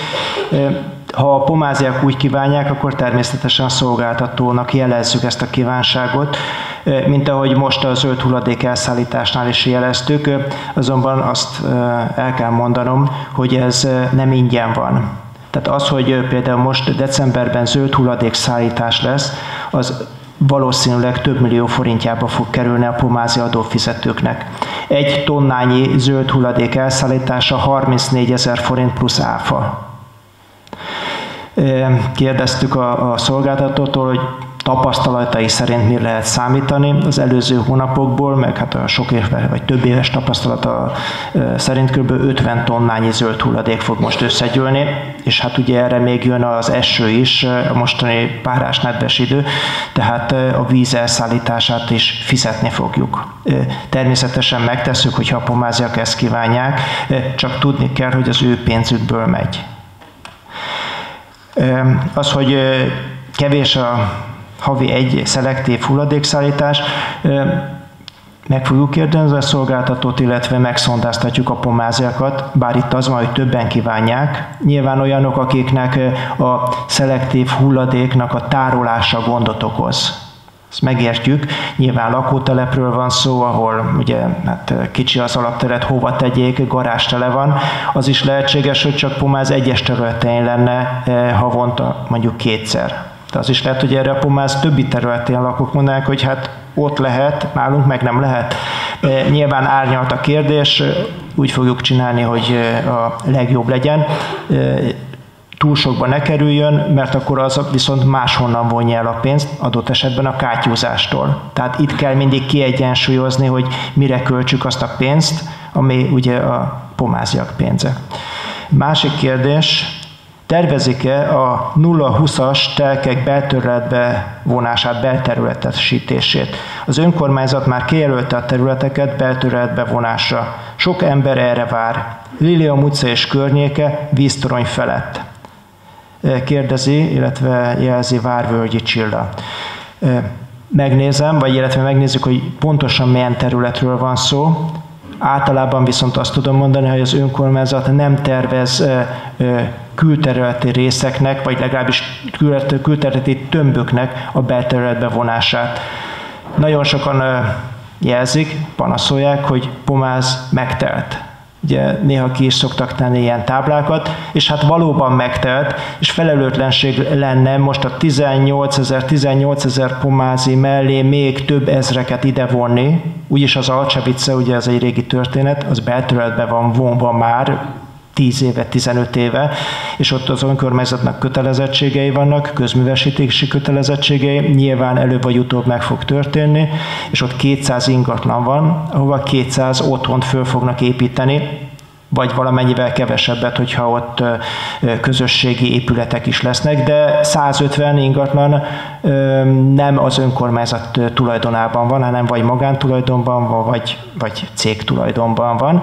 Mindenesetre ez lakosságot generál, ugye beszéltünk sokat a dugóról, a forgalomról, még többen fognak itt lakni, még nagyobb lesz adott esetben a, a közlekedési probléma. Iskolák kellenek, óvodák kellenek, bölcsödekkel, stb. stb. Tehát ez megfontolandó. Javaslom Várvölgyi Csillának innen, hogy, hogy írja meg részletesebben az önkormányzatnak, hogy mire, milyen információra alapítva írja azt, hogy kijelölte a területet az önkormányzat belterületbe vonásra. Lehetséges. Nem mondom azt, hogy nem, csak több információra volna ehhez szükség. És egy harmadik pedig, a Városunk Pomáz oldal elérhető lesz-e, nyilván itt a Facebook oldalra e, utal, a, aki ezt az üzenetet beküldte. Sok tagja van, e, több emberhez eljutnának az ilyen események, mint ez a mostani. Igen, ez így van. 14 ezer követője van a Városunk Pomáznak. Erre az utolsó bejegyzés emlékeim szerint október 13-án, nem néztem azóta, tehát lehet, hogy van, de valószínűleg, hogy nincsen.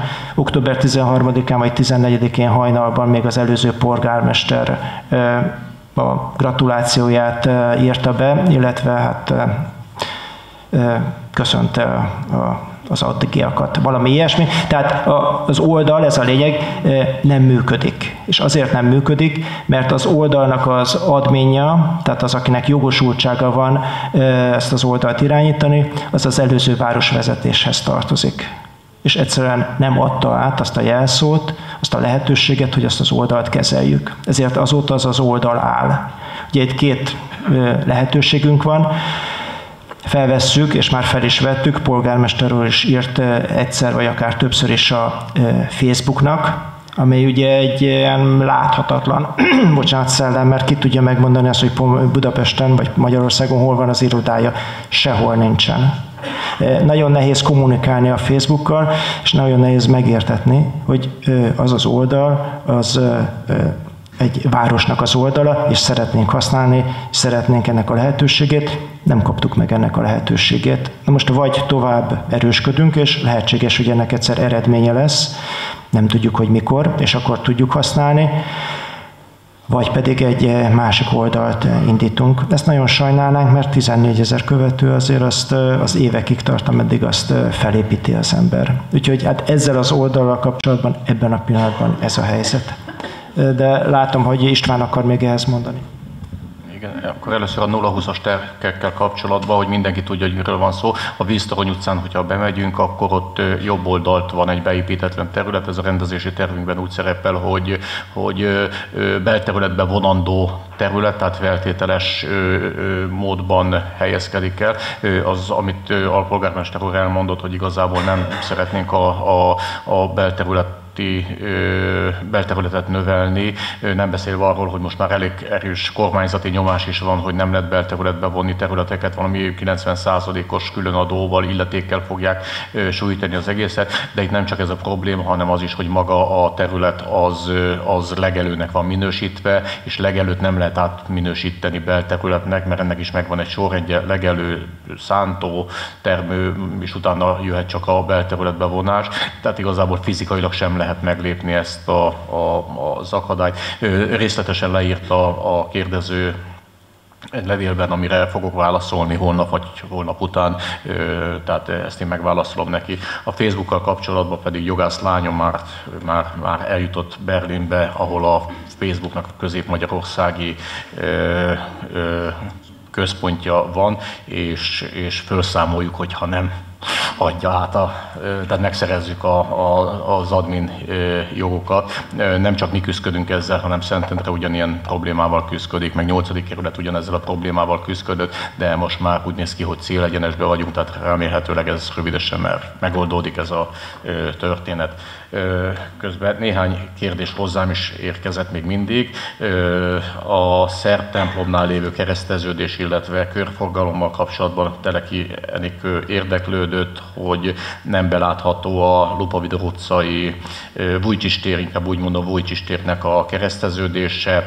Hasznos lenne egy tükör, nyitott kapukat dönget, tehát lesz tükör is, illetve magának a, a Vujcsis térnek a forgalomtechnikai átalakítása is elkezdődött, és, és ez hamarosan meg fog oldódni. Balogh György Középhegy utcából kérdezte, hogy itt öt ingatlanon keresztül semmilyen közvilágítás nincsen. Ezt meg fogjuk nézetni, hogy javítható, tehát javításról van szó, vagy pedig, hogyha nem, akkor telepíteni kell ilyen napelemes lámpákat, de mondom még egyszer, hogy ennek nem olyan egyszerű, mert oszlopot is kell telepíteni, és innentől már ennek elég vaskos költsége van, de ezeket a, a hiányokat fogjuk pótolni. Fülöp Zoltán érdeklődött az EGRES utcából, hogy avar vagy zöld hulladék égetéssel kapcsolatban most mikor lehet, mikor nem lehet.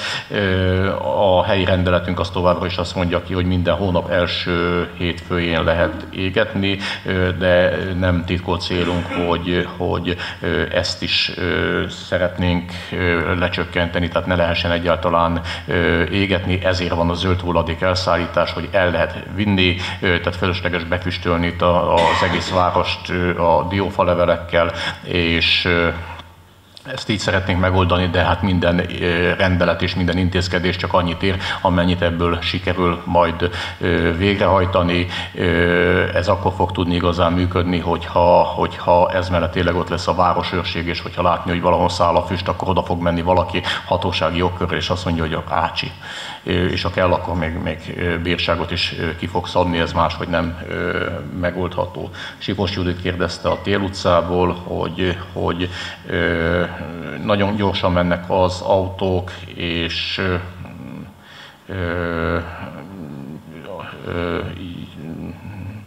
igen, parkolási problémát jelez, meg fogjuk nézni Nagy Krisztián Borbolya utcából, hát ő nagyon sok kérdést tett föl,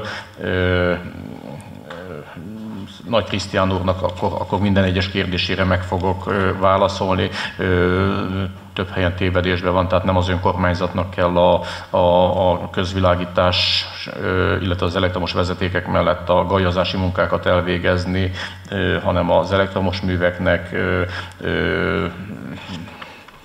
még mindig Nagy Krisztiánok, tehát, tehát akkor, és, és ő is említi a, a vadak megjelenését. Hát ezzel azért csak annyit szeretném mondani, hogy, hogy ez a Zsája utca, ez gyakorlatilag a Majdán Polának a, ötös válaszókerületbe tartozó része, tehát Majdán Polának az egyik kiárata, hát igazából nem a vadak jöttek oda, hanem mi mentünk oda, azért ez nagy különbség, de értem a problémát, tehát válaszolni fogok neki. Vida Borbála érdeklődik, hogy a Mesevár tagóvodánál, ez a felső óvodánál járdaépítést tervezünk-e. Ez 2020-as költségvetésbe valószínű, hogy nem, de 2021-esben már talán két ingatlan előtt nincs meg a járda, és akkor onnan megközelíthető lenne a busz megálló. Hogyha valaki szeretne hozzászólni, azt kérem jelezze, mert Balog István, és akkor még, még és Attila is, igen, akkor Balog István úr, és akkor innen folytatom majd a... Először nem akartam hozzászólni, nem akartam föltartani itt a tisztes társaságot, de annyi sok minden elhangzott, és úgy gondoltam, hogy itt én elkezdem, mondjam így, hogy az elején, ami már bizonyos mértékben elhangzottak, egy, hallottuk azt, hogy egyirányú utca, egyirányosítások ról lesz szó. Na ezt mi szívjuk, például a, a Rózsa meg a Szamóca utcának az egy, egy, egyirányosítását, mert a Boglárka utcán reggel 8, 7 és 8 között 5 másodpercenként mennek ki a, vagy mennek az autók mindkét irányba, és két részen nagyon a, tehát a vége, vagy a szőlőtelep utca vége nagyon kicsi, ebben biztos, hogy benne van a vaze is. Tehát, hogy ő ott szabad utat, hogy kikerüli és a Rákóczi út felé. Na, tehát ez az egyik, ha már itt vagyunk az egyirányosításnál, és itt vagyunk a biciklótnál, várható-e azt, hogy egy olyan kiegészítő táblák lesznek a behajtani tilos tábla alatt, hogy kerékpárra, kivéve kerékpár, mert ha a meredekebb utcákon az vissza kell menni, és holysévek, és amról lehet megközelíteni biciklivel, az már, már gond. Most a járdákról nem akarok beszélni, én a Szőlőtelep utcán szoktam járni, Jankovicson szoktam járni, Dózsa Györgyön szoktam járni, járdán, bocs, próbálok járni a járdán, két probléma van vele. Egyrészt nem járható, és most még ad a probléma például, hogy a Jankovicson igen komoly a forga, forgalom, és ott például babakocsival, ha valaki akar jönni, akkor igen nagy bajba van. Most este aztán totál végképp bajba van, mert nem is lát. Mert most, hogy jöttem, most ezt is ezt tapasztaltam. De ugyanakkor tapasztalom máshol is, azért tudom ezeket mondani, mert kutyát sétáltatok gyakran gyalog, hogy a rendszeresen a kertekből kilógnak a kerítések, tehát buxus, tuja, vagy akár micsoda szépre, adott esetben szépen lenyírt, vagy nem nyílt. Van, ahol fél métert elfoglal, például a Dózsa György útnak a legelső vagy második házánál is ugyanilyen mondjam azt, hogy kilógó buxus kerítés van. Tehát a másik, ott van a, ugyanígy a Rákóczi út. A Rákóczi útnál csak ad a bajom, hogy a másik oldalt van a világítás, ezen az oldalon örökzöld csövény van, úgymond, mert ilyen buxusnak nem nagyon szokott, buxus vagy fagyal nem nagyon szokott lehullani a, a levele, és a járda meg nem akarom mondani, hogy milyen. Tehát egyes részeken rendkívül. És a iskolánál nem azon az oldalon van a, ö, este a forgalom, hanem a, az jobb, tehát magyarul fölfele mehet a jobb oldalon, tehát mindent lehet bugdácsolni is, és mert ezek a, a bokrok azért vannak telepítve a forgalom irány, tehát hangfogó meg ö, porfogó, de lényeg az egészben, hogy a világítást abszolút nem lehet látni a, a járdát. Nem tudom, mit lehet vele csinálni. Ö, a másik, hogy itt vannak szintén ezen az utcán és máshol is itt a gajazással kapcsolatban jutott eszembe, össze is idézve ütköztünk egyszer a Facebookon egy régi iskolatársammal, hogy milyen borzasztó, mondjam azt, hogy bunkó az émász, mert hogy levág, kivág, levágta, így lecsonkolta a fákat. Könyörgöm, azt valaki odaültette alá. Vagy a tulajdonos, vagy a önkormányzat, ez a kérdés. Például a Rákóczi úton, vagy a többi helyen is, az utcán lévő fák kinek a tulajdonát? Kinek kell megmetszeni? A múlkor éppen Gézának szóltam, Nagy Gézának, hogy a szomszédját szóljon már neki, mert csak a véletlenem múlott, pont amikor mentem innen haza, hogy a alakülőülés után, a véletlenem múlott, hogy a, nem szoktam semmieket hordani este, de sapka is volt rajtam, hogy pont nem a szememet elte ki. Szerencsére azonnal le is vágták másnap. Tehát ez sok helyen így van, hogy, hogy nem tudom, hogy kié adott esetben a fa, vagy a bokor, de nagyon sok helyen alacsony. Tehát én mondjuk nem vagyok nagyon magas, de azért normál méretű vagyok. Tehát ezt, ezt, ezzel is azt lehetne, hogy foglalkozni kellene vele, hogy kinek a feladata. Tehát, mert régen nálunk a faluban az volt, mint gondolom itt is az volt, hogy mindenkinek a porta előtt le kellett tisztítani, sőt a, jár, a, a árkot is ki kellett tisztítani. Ha mondjuk régen így hangzott el olyan is a ö, volt alpolgármester részéről, hogy azért ö, borul, vagy tehát ö, ár, árad ki a, a ö, árok a, például a rózsa a Rózsa, a Szamóca utcánál, mert nem tisztítják ki az árkot. Tehát persze, mert lehordta az összes homokot a Lilium utcán. Tehát, és tehát ilyen, ilyen dolgok, tehát azt, azért, azért kérdezem, hogy ezt kinek, és a, föl kéne hívni a ö, lakosság figyelmét is, hogy meddig az övé, meddig a... Mert olyannal is találkoztam már, hogy mentem az utcán, le akartam venni idézőjelbe egy fügét ott a hátul, a, nem tudom milyen utca az a Vörös Martiba és leszóltak azt, hogy az az övéké, és azt, azt ne vegyem le azt az egyetlen fügét. Tehát jó, tehát igazuk van nekik, hát ha ők csinálják, akkor rendben van. Szóval az, hogy kié mi, ezt tudatosítani kellene jobban a, ö, em, tehát a emberekkel. A járdákkal kapcsolatban azt én már mondjam azt, hogy el, mondjam, könyveltem magamba, hogy ezeket megjavítani hosszú távon nem, nem lehet. Újakat annyi pénze nincs, nem is, nem is lesz a pomázon a következő, nem tudom, hogy hány évben, hogy azokat szépen gyönyörűen. De akkor is legalább valamit kell csinálni, mert ezeknek a járdáknak egy része biztos, hogy a város csinálta, másik részét pedig a ott lakók csinálták. Tehát hogy, tehát ezzel foglalkozni kell. Annyit akarnék még hozzátenni, és még kettő van, és be fogom már a számomat, hogy egyrészt a, nekem a 14 ezeres uh, támogatós, bocsánat, a mm, tagszám a városnak a weboldalán rendkívül soknak tűnik. A 8500-as szavazó számhoz képest. Tehát vagy, mert ké, körülbelül három évvel ezelőtt ez még alig 2000 volt, tehát ez lehet, hogy mesterségesen föl van, ö, mondjam így, hogy duzzasztva. Tehát lehet, tehát jó, mert olyan tartalmak azért vannak ott, de ez én meggondolandó adott esetben, hogy érdemes vele túl sokat foglalkozni. A másik, nem akarok, mert nem tudtam erről a kezdeményezésről, hogy volt már ilyen kezdeményezés, hogy, hogy legyen-e mondjam korlátozva a tűzijáték, vagy nem. Hát én most föltettem a Facebookra, hogy London gondolkozik, melyik város, másik város be is tiltotta. Tata.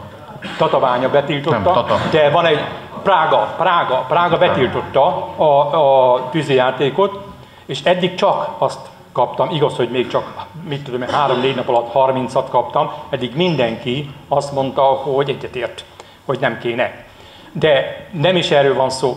A tavalyit mondom, tavaly elkezdődött 8 órakor, és reggel 4-ig, 5-ig nyomta. Nyomták. Már tegnap előtt is nyomták, tehát nyomták. Nem az a problém, tehát egyszerre nem azt kellene az egészet, de legalábbis korlátozni kellene valamennyibe, hogy mit tudom én, 10 órától 1 óráig, és utána nem. Tehát, mert mondom, ezt én, és a kutyások nevében én kikérném magamnak azt, hogy a kutyások azt mondták volna, 3000 kutya legalább van pomázon mert körülbelül minden második helység. Tehát nem hiszem el, hogy, hogy adok szívesen venni, én sem veszem. Köszönöm szépen.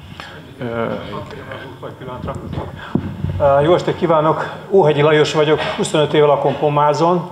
Én voltam az a bizonyos pomázi polgár, akit Hardi úr Péter, ugye tegeződünk ezer éve, ismerjük egymást szemétszedésből, meg Istvánnal is. Tehát én voltam az, aki felvetettem, hogy kövessük Tata példáját. És nem csak Tata példáját, mert elmondom, hogy például Milánó, egy világváros három éve betiltotta a petárdázást, és nem az állatokra vonatkozóan volt az elsődleges szempont, hanem a nyugdíjasok és a betegek és a kisgyerekek. És utána jött az, hogy a kutyák érdekében is. Prága most idén először vezette be ezt, senki nem tiltakozik, hogy, hogy ők szeretnének a fényjáték helyett petárdát. A Tata meg tudta csinálni. Persze ott vaddudak vannak, védik a természetet, ez nagyon szép dolog, de én azt gondolom, hogy nem csak a kutyákról van szó, hanem ö, idős emberekről, ö, környezetünkről, nyugodt, baráti szórakozásról. Tehát én például négy évvel ezelőtt jártam, ugyan a Vinceli utcában lakom, nagyon jobban vagyok a szomszédommal, meghívott egy baráti társaságot, és nem tudta kontrollálni a társaságát, elkezdték az én házamat petárdával lőni. A szigetelés a nikecel elkezdett kigyulladni, veszekedtem, nagyon kellemetlen volt neki is, nekem is. De nagyon sok ilyen problémát hallottam a környéken.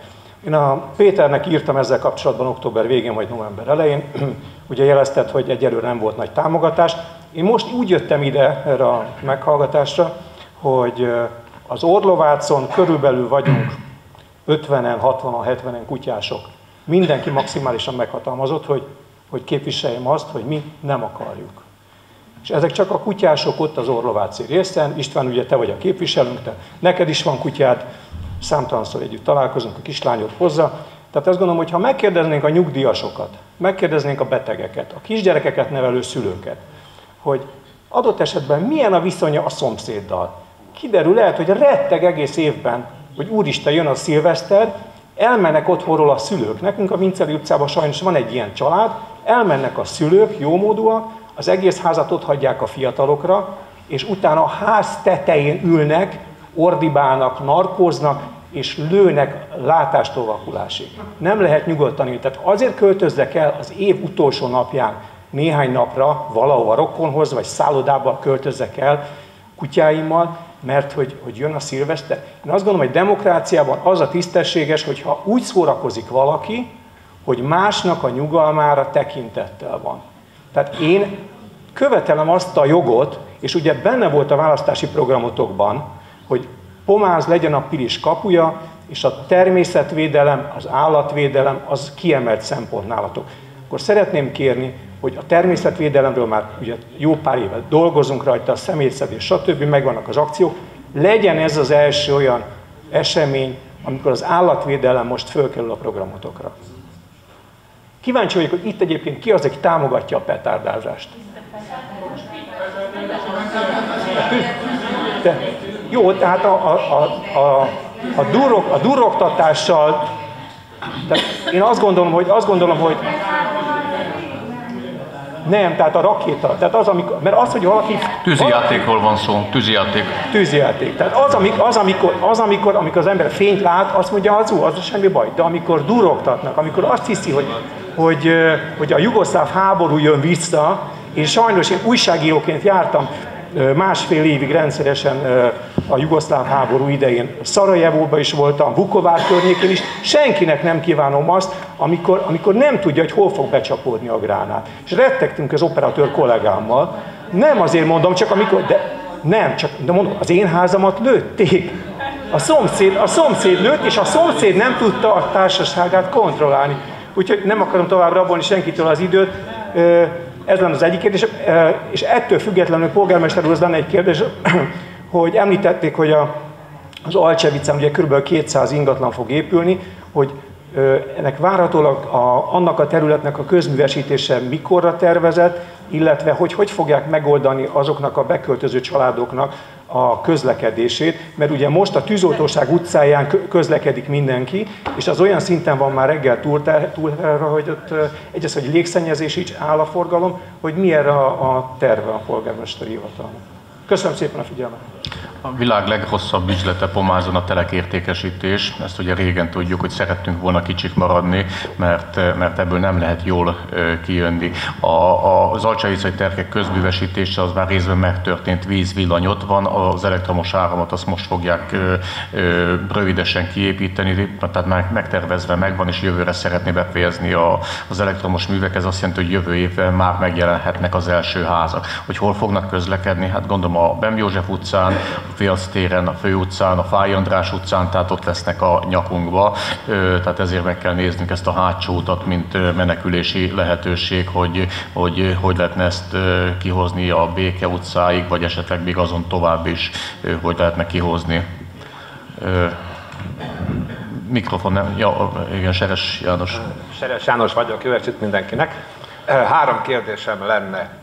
Látom itt a főépítész úr is főleg hozzá, meg az István is, van. hogy a tűzoltósággal szemben lebontott két épület helyére van-e valami koncepció formailag, esztétikailag lesz-e, tudnélik, az egy olyan területe a városnak, ami egy történelmi mag, és ott tulajdonképpen szerintem engedély, nem tudom nélküle vagy nem, de még mielőtt az egész területet, én is kaptam, hogy közelben lakom, egy olyan iratot a hivataltól, hogy változtatási tilalmat rendelnek el, de egy héttel előtte azt már ott lebontották. Valószínűleg megkapták a fülest, Na most nekem nagyon nem tetszett ez akkor, és nem tetszett az, hogy ezeket a régi házakat nem az, hogy felújítják, hanem lebontják. Tehát, hogy ez, ennek mi lesz a sorsa? Ez az egyik kérdésem. Másik, a belterületi állattartás lesz-e szabályozva? Nem beszél a kakasokról, a büdös nyulakról, esetleg a disznókról. A szomszédok ugye nem akarnak rossz szomszédi viszonyt, elviselik, de néha már elviselhetetlen nyáron a, bűz. Én is a helyen lakom, ahol a kert szomszédomban többféle állatot tartanak, nem egyet, nem tized, tyúkból is vagy 30-40 darab van, meg szóval talán nyúlból is, tehát hogy ez lesz-e szabályozva. A harmadik az Alcsevicával kapcsolatban, a Lajossal szoktunk ott találkozni, én is kutyatartó vagyok, ugye ki vannak parcellázva a telkek. Meg lehet nézni, fölveri a parlagfű meg a gyom. Eddig senki nem ellenőrizte. Együtt sétáltattunk kutyát a jegyzőnővel. Van ott egy olyan terület, ami a temető mellett lefelé, egy széles sáv, mint ez a, ez a ház. Mint ha be lenne vetve parlagfűvel. És senki az égvilágon az nem ellenőrzi, Állítólag az utak, amik ugye már ki vannak mérve, az a, az a város meg közterület, város tulajdonban, ott se vágták soha a parlagfüvet, nem beszélve az új tulajdonosokról, be kell tartatni velük, hiszen többen allergiásak vagyunk, én már el is kerülök, amikor Dunára megyek, amikor a parlagfű virágzik, nem viszem a területre, tehát hogy lesz-e ennek valami foganatja ennek a, ennek a, a lenyirattatásnak, mert ez szerintem óriási probléma, főleg, hogyha szél van, akkor azért behozza a városba, mert ott hatalmas területekről van szó. Köszönöm szépen. Hogy na, míg a mikrofon átmegy a Lacihoz, addig hagyj válaszoljak. A szlávik ház területe, hát az gyakorlatilag magánterületben van. Tervek készültek rá, hogy autómosó, McDonald's, étterem, mit tudom én. Úgy tudom, hogy most érdeklődik rá a az albán pékség, és ő szeretné megvenni. Most jelen pillanatban beszéltem a, a tulajdonossal, és kértem, hogy ha nem muszáj, akkor még ne adja el, hanem még a ház, mert lehet, hogy, hogy abból a területből nekünk szükségünk van a körforgalom bővítésére részbe, és, és hogyha az meg lesz, akkor majd, majd utána kezdjen valamit a, a telekkel, tehát ezt megértette, és ez most folyamatban van. Igen, tehát teljesen szabályosan történt a, az építés építési szabályoknak megfelelően történt az épületnek a lebontása, utána itt megpróbáltak helyből utána nyúlni, az akkor, akkor rendelték el a, a változtatási tilalmat, de akkor már le volt bontva az épület, most csak úgy kellett volna hagyni, tehát ez egy, ez egy nem szép története Pomáznak, és a, a, az elhangzott, már több kérdésként elhangzott ilyen állattartási rendelet, illetve hogy mi a lakónak a feladata, illetve mi a, az önkormányzat önkormányzatnak a feladata, tavasszal, hogyha átvizsgáltuk a, a helyi önkormányzati rendeleteinket, és rendbe őket, akkor szeretném, hogy ha kiadnánk egy pomázi házi rendet, amiben szépen le van írva, hogy, hogy meddig önkormányzati feladat egy feladat, és meg, mikortól ö, lakossági feladat. Tehát, hogyha ez ott van minden lakónak a kezébe, akkor gyakorlatilag innen már megkövetelhető ennek a betartása. És hogyha lesz erre szervezet, hogy ezt be is tudja követelni, akkor gyakorlatilag szerintem el tudunk indulni egy jó irányba. És ugyanez a gondom nekem most, hogy, hogy igen, hozhatunk mi egy rendeletet, hogy holnaptól tilos petárdázni, vagy tűzijátékozni, és mi fog történni? Nem lesz ettől tűzijáték? Dehogy nem.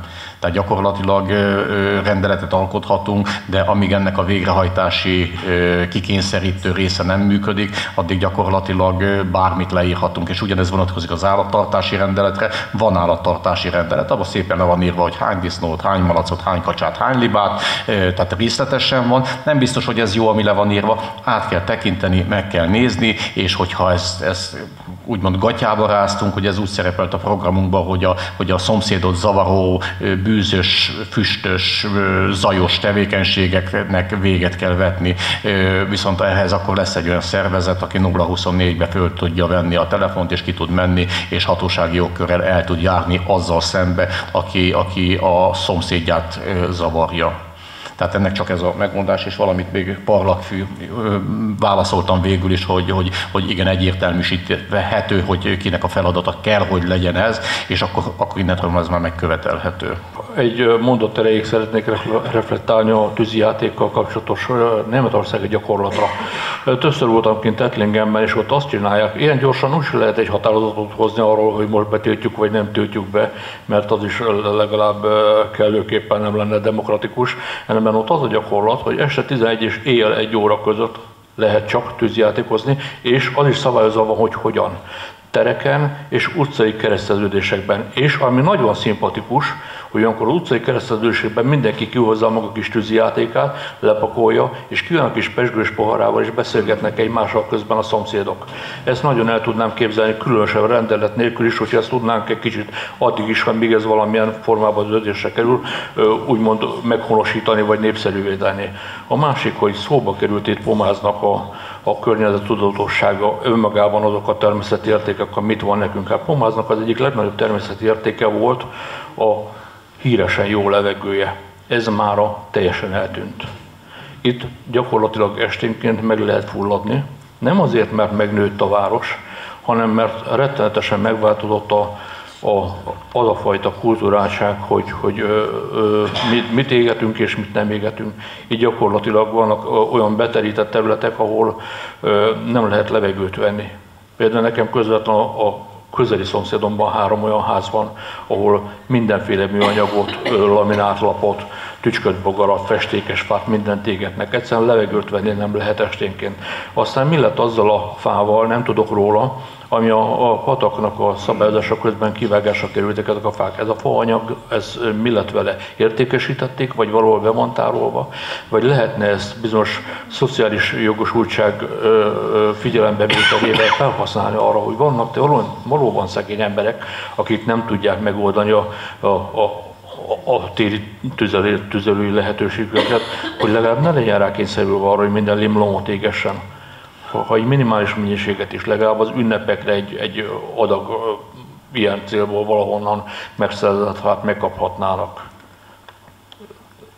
Köszönöm szépen. Szerintem a fát elszállították, nem tudok róla többet. Igazából tervezzük, hogy múcsológépet, illetve egy fa aprítékológépet fogunk beszerezni majd, hogyha megalakul ez a, ez a közterület szervezet. Sőt, én, azt is mondom, hogy a zöld hulladékot igazából azért luxusnak tartom, hogy autóztatjuk Szentendrére, tehát igazából Pomázon már keresik a helyét, hogy hol lehetne egy, egy ilyen zöld hulladék feldolgozót komposztálót létrehozni, és ahol be tudnánk állítani nem csak az önkormányzat szolgálatába, hanem a lakosság szolgálatába is. Tehát valahol, valahol legajazza a lakó a, a, a fát, akkor, akkor, akkor kérheti, hogy oda megy, természetesen a térítésért, hogy oda megy ez a, ez a aprítékoló vagy múcsol, és egyszerűen bedarálja az ágat, és, és így eltünteti. Tessék parancsolni, akinél a mikrofon van. Igen. Takás László, Füleki utca.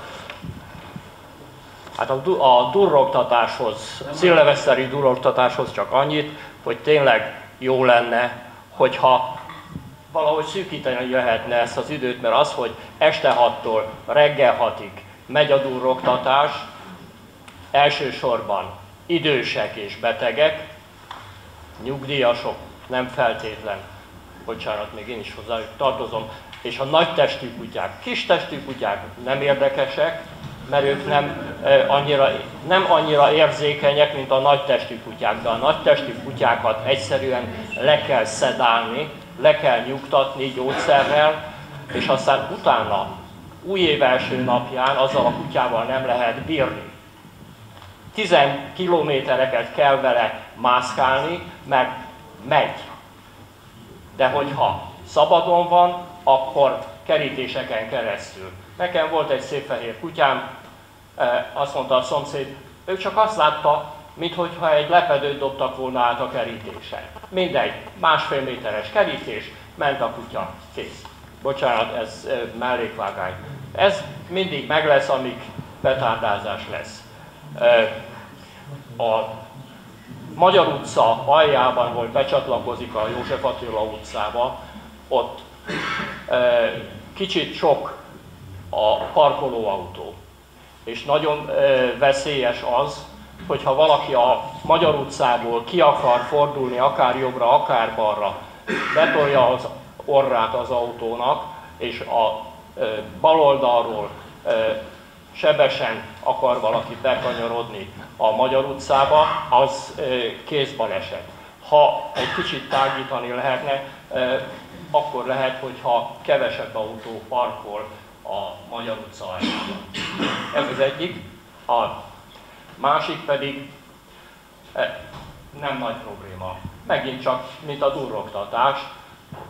Itt pedig a kisgyerekesek és az autósok között van a probléma, mert hogy a Magyar utca és a Füleki utca az tulajdonképpen Zsák utca, és kicsi a forgalma, de csak akkor, amikor nem akarnak bemenni sokan az autószerel, a busz szereldébe, vagy onnan kijönni. E, és a kisgyerekesek ugye féltik a gyereket, le kellene korlátozni a sebességet. Megtörtént, fekvőrendőröket állítottak, de időnként vannak, akik úgy hozzányúlkálnak a lecsavarozott eh, fekvőrendőrökhöz, és már jó néhány helyen kiállnak a csavarok. Ez sajnos még balesetveszélyes is. Köszönöm szépen. Igen, és nem beszélve arról, hogy már, már lakossági panaszokat kaptunk, hogy azonnali hatája szüntessük meg ott a fekvőrendőrt, mert micsoda dolog az, hogy ott van, és hogy senki nem kérdezte meg az utcában lakókat, hogy a szükség van, vagy nincs szükség rá. Tehát ebbe azért elég nehéz igazságot tenni. Hozzáteszem, hogy én abszolút fekvőrendőr ellenes vagyok, mert hogy tűzoltóautót mindig a fekvőrendőr állította meg, és, és mindig a, a, a fekvőrendőrnél kellett, tehát azt teszi tönkre az autót. Tehát a for forgalmat lehet más módon is csillapítani, és én inkább a más módon való csillapítását a forgalomnak ö, ö, helyezem előtérbe, és nagyon sokan kérdezték és tettek javaslatokat, hogy, hogy szeretnének fekvőrendőrt ide-oda-moda.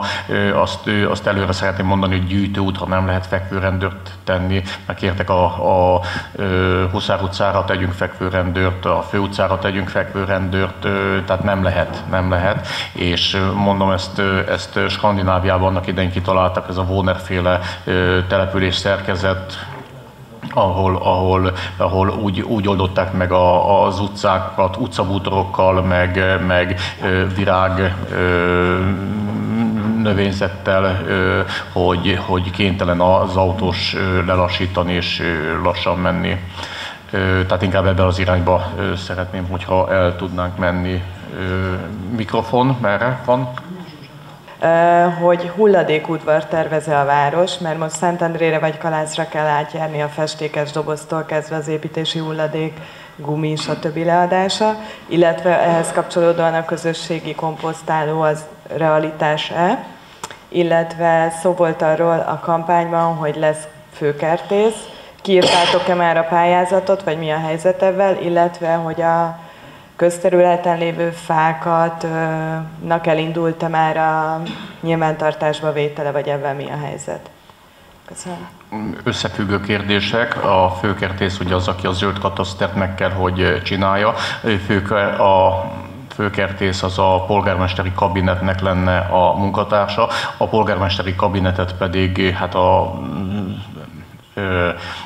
fórumunk elején elmondott okokból nem tudtuk még létrehozni, tehát egyszer magunkba vagyunk, de természetesen nincs elfelejtve, tehát főkertészt mindenféleképpen szeretnénk pomázon, szeretnénk zöldíteni a települést, szeretnénk indítani a főutca programot, tehát nagyon sok ö, ö, még el nem indult ö, programunkat ö, készítjük most elő, és úgy látom, hogy olyan február környékén lesz realitása, hogy, hogy ezt a polgármesteri kabinetet kabinetet létrehozzuk, és a főkertészt munkába tudjuk állítani.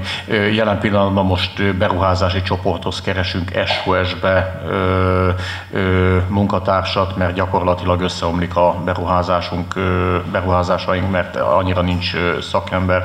Most ismét kiírtuk a pályázatot, tehát most ez egy, tehát most megint tüzet oltunk, tüzet oltunk, folyamatosan tüzet oltunk, de előbb-utóbb csak elhalszanak vannak ezek a tüzek, és egyenesbe jövünk. Az egyik, hogyha beszélünk arról, hogy csendrendelet legyen szilveszterkor, azzal nem sokat érünk el, szerintem sem lehet betartani, mert lényeges probléma ez, de javaslom, hogy szavaztassuk meg a várost, hogy akarjuk-e, vagy nem akarjuk, én is amellett vagyok, hogy legyen ez meg, és utána legalább annyit léptünk előre, hogy van egy határozatunk, vagy rendeletünk, amit beszeretnénk tartatni. Ha nincs ilyen rendelet, akkor csak beszélünk róla. Ez az egyik. A másik dolog pedig len, hogy egy kérdés, hogy próbáljátok-e, vagy van-e elképzelésetek arra, hogy a 8 órai művelődési ház bezárást, kapuzárást megszüntessétek, mert mindig ebben rohannunk bele, és gondolom már most is arról van szó, hogy be kell zárni a kapukat, és el kell mennünk. Ez a kettő volt röviden. Igen, tehát nem kell, nem kell, nem kell elmenni, nem kell elmenni. Még a múlt héten volt ilyen problémák.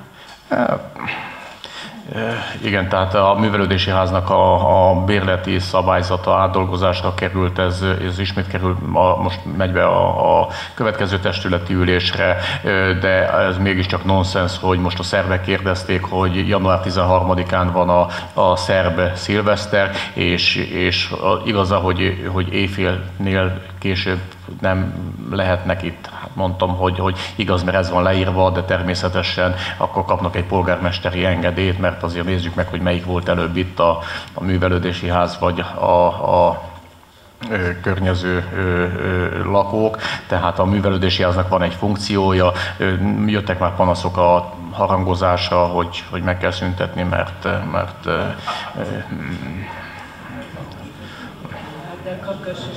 a kakas is, igen. A kakast is megszüntetjük. Igen, egy kérdés a Péter. Jó.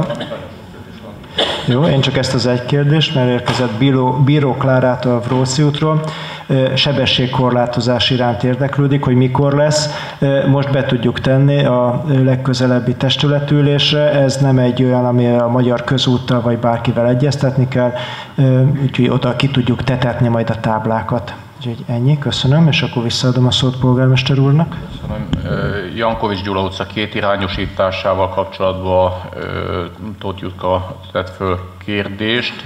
Azt mondom, hogy igaza van, és ez igaz minden olyanra, amit mondtam az egyirányosításra, hogy minden egyirányosított utca funkcióban felülvizsgálatra kerül. Ez a forgalomtechnikai felülvizsgálatnak a része lesz, és, és minden jellegű változtatás az úgy fog történni, hogy az utcában minden lakot megkérdezünk, hogy az, az, az a javaslat született, mint itt jött is be most javaslatként, hogy a, hogy a Göte utca, tehát a német iskola melletti utca, az legyen lefele egyirányú, a, a Bodza utca, a Volcsiszli az legyen fölfele egyirányú. Lehet, hogy ez jó, hogy teljesen is át van gondolva, de ezt úgy, hogy hogy mi kitaláljuk egy íróasztalnál, ez nem működik, hanem ezzel bizony meg kell kérdezni az ott lakókat, és az ott lakók döntése alapján nem fogjuk ezeket az egyirányosításokat elvégezni. Mi fog történni azokkal az utcákkal, ami most jelen pillanatban a vazének köszönhetően a Pilisi medence forgalmát kénytelenek elszenvedni. Gondolok itt az Orgona utcára, Diófa utcára, Cigánytelepre, a, a Boglárka utcára és a csatlakozó utcára, amik, amin ilyen menekülő utak. Itt pedig az az elképzelésünk, hogy a hogy a, a bejövő forgalom elől egy, egy behajtani tilos kivéve célforgalom, vagy, vagy lakópihenő övezeti besorolást teszünk, és, és megpróbáljuk ezáltal kresszileg megtiltani, hogy ott átmenő forgalom legyen, és a, a főutcán lévő dugót próbálják arra kerülni. Természetesen ezáltal nagyobb lesz a főutcán a dugó, igen, ez a következő lépés, hogy azt kell megoldanunk. Zombai Mónika kérdezte a Susnyárdőlőből, hogy kaphatnának-e tükröt a Susnyár út, illetve a Szentendre felé menő régi római útnak a kereszteződéséhez. Szerintem igen, ennek, ennek nem lesz akadálya.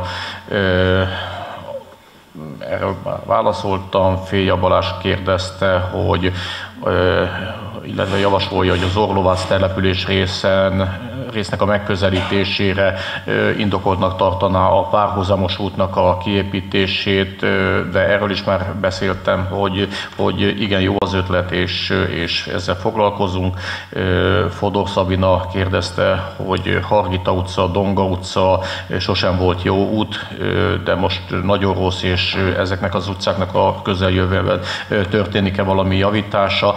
Igen, ezt is említettem, hogy ezek azok az utcák, amit gyakorlatilag le kellene gyalogolni, gyalulni és, és letömöríteni, de ez nagyon időjárás függő, tehát most, amikor ennyire fölázott a talaj, akkor, akkor ezt, ezt nem lehet megcsinálni, mert hosszabb helyzetet idézünk elő. Szabó Zsanett javasolja, hogy a Huszár utcába, a Spár környékén egy zebrát kellene felfesteni. Szerintem, szerintem támogatható a javaslat, viszont azt tudni kell, hogy, hogy a szabályok szerint nem elég fölfesteni az útra egy zebrát, azt meg is kell világítani, tehát az, oda oszlopot kell tenni, tehát más szabályok is vonatkoznak, de én úgy gondolom, hogy ez támogatható. Hadnagy Gábor kérdezte, hogy a hévállomás környékén javasolja visszaállítani a az éjjel-nappali boltnak a 23 óráig vagy éjfélig való nyitva tarthatóságát. Több javaslat is érkezett már erre, ezt megnézzük, ez valamiért le lett korlátozva még az előző ciklus alatt, de megnézzük, és hogyha erre igény van, akkor szerintem ez támogatható. Nagyobb esők esetén méteres tócsák a busz megálló területén, lent az állomáson, igen, láttam, meg olvastam is a kompország BKV, illetve volán terület, de ettől függetlenül tűzoltóságnak van olyan eszköze, amivel ezt a hibát nagy valószínűséggel el lehet hárítani, hogyha csak egy dugulásról van szó megnézzük, illetve hát akkor egyeztetünk itt a szolgáltatóval. Javasol egy, egy 24 órás felügyeletet a, az állomáson kerékpárok megőrzése érdekében erre most így nem tudok mondani, majd erre szerintem írásban fogunk valami választ adni. Naki kérdezte, nem köthető utcához, hogy teljes a létbizonytalanság a városi fenntartású intézményekben, mindenki retteg a bosszútól, Pökhendi Hardi úr és társaitól. Mikor vetennek véget polgármester, akkor véget vetettem, hogyha így tetszik. Balog József úr kérdezte iparterülettel kapcsolatban, hogy iparterületen mikor lesznek utak építve, mert mégiscsak azt termeli meg, pomáznak az ide, iparűzési adóját. Jelen pillanatban is van éppen útépítés az ipartelepen, és ezt folytatni is fogjuk az önkormányzat lehetőséget biztosít civil szervezeteknek a művelődési ház kedvezményes teremhasználatára, és hogyha milyen rendeletben nem láttam arra vonatkozó adatot, hogy egy nyilvános közértekű előadás szervezése esetén a szervező közönség a díjmentesség megtartása mellett gyűjtheti adományt saját részre vagy előadó tiszteletdíjára, ha igen, milyen feltételekkel, milyen mértékben, esetleg megfontolandó egy egyeztetés a civil szervezetekkel ebben a témában.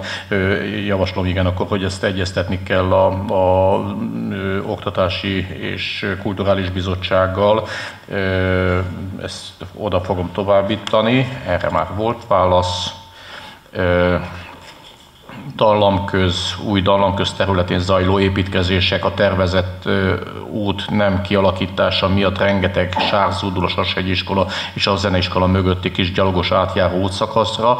Meg fogom nézetni a közterületfelügyelővel a holnapi nap folyamán. Annak a feladata, hogy ez az út járható legyen, illetve a sár ne folyjon a járdára, aki előidézi a problémát, tehát hogyha az építkezés, akkor az építkezés lett kötelezve, ugyanúgy, ahogy itt a Itt a park járhatatlan volt, kijöttem gyakorlatilag lehet mondani azt, hogy, hogy 10 perc alatt sikerült rendet csinálni, mert mondtam a vállalkozónak, hogy én fogom meg a lapátot és én fogom lelapátolni, akkor többet ide építőanyagot nem fognak behozni, mert nem adjuk meg rá az engedélyt. Utána gyorsan nekiálltak és eltakarították, tehát meg, meg zúzott köve leszúrták az egészet, tehát helyreállították, csak tényleg oda kellett ö, csapni.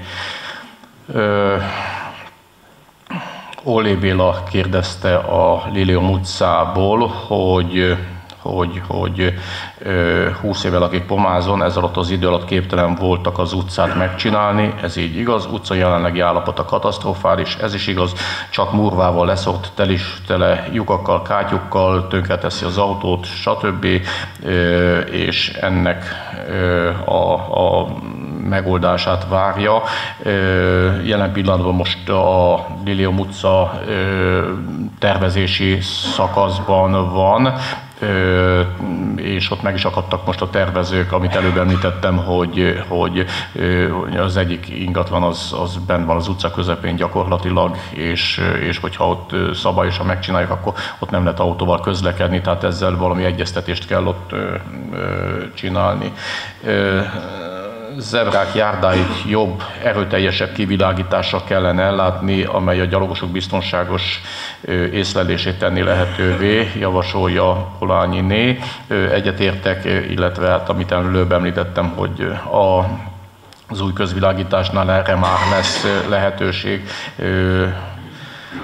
Garat utcába kérnek olyan napelemes lámpát, amely, tehát ott nincs kiépítve hálózat, és, és kint voltam, megnéztem, valóban így van, oszlopot kell tennünk, ezt valószínű, hogy a tavasz folyamán meg tudjuk oldani.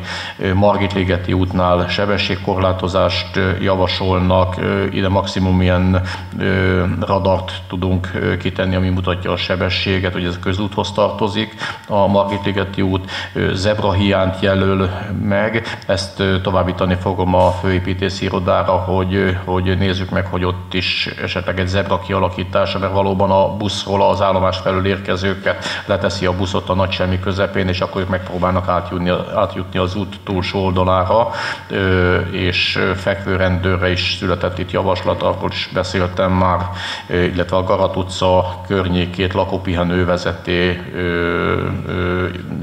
minősíteni, azt hiszem, hogy ennek sincs jelen akadálya.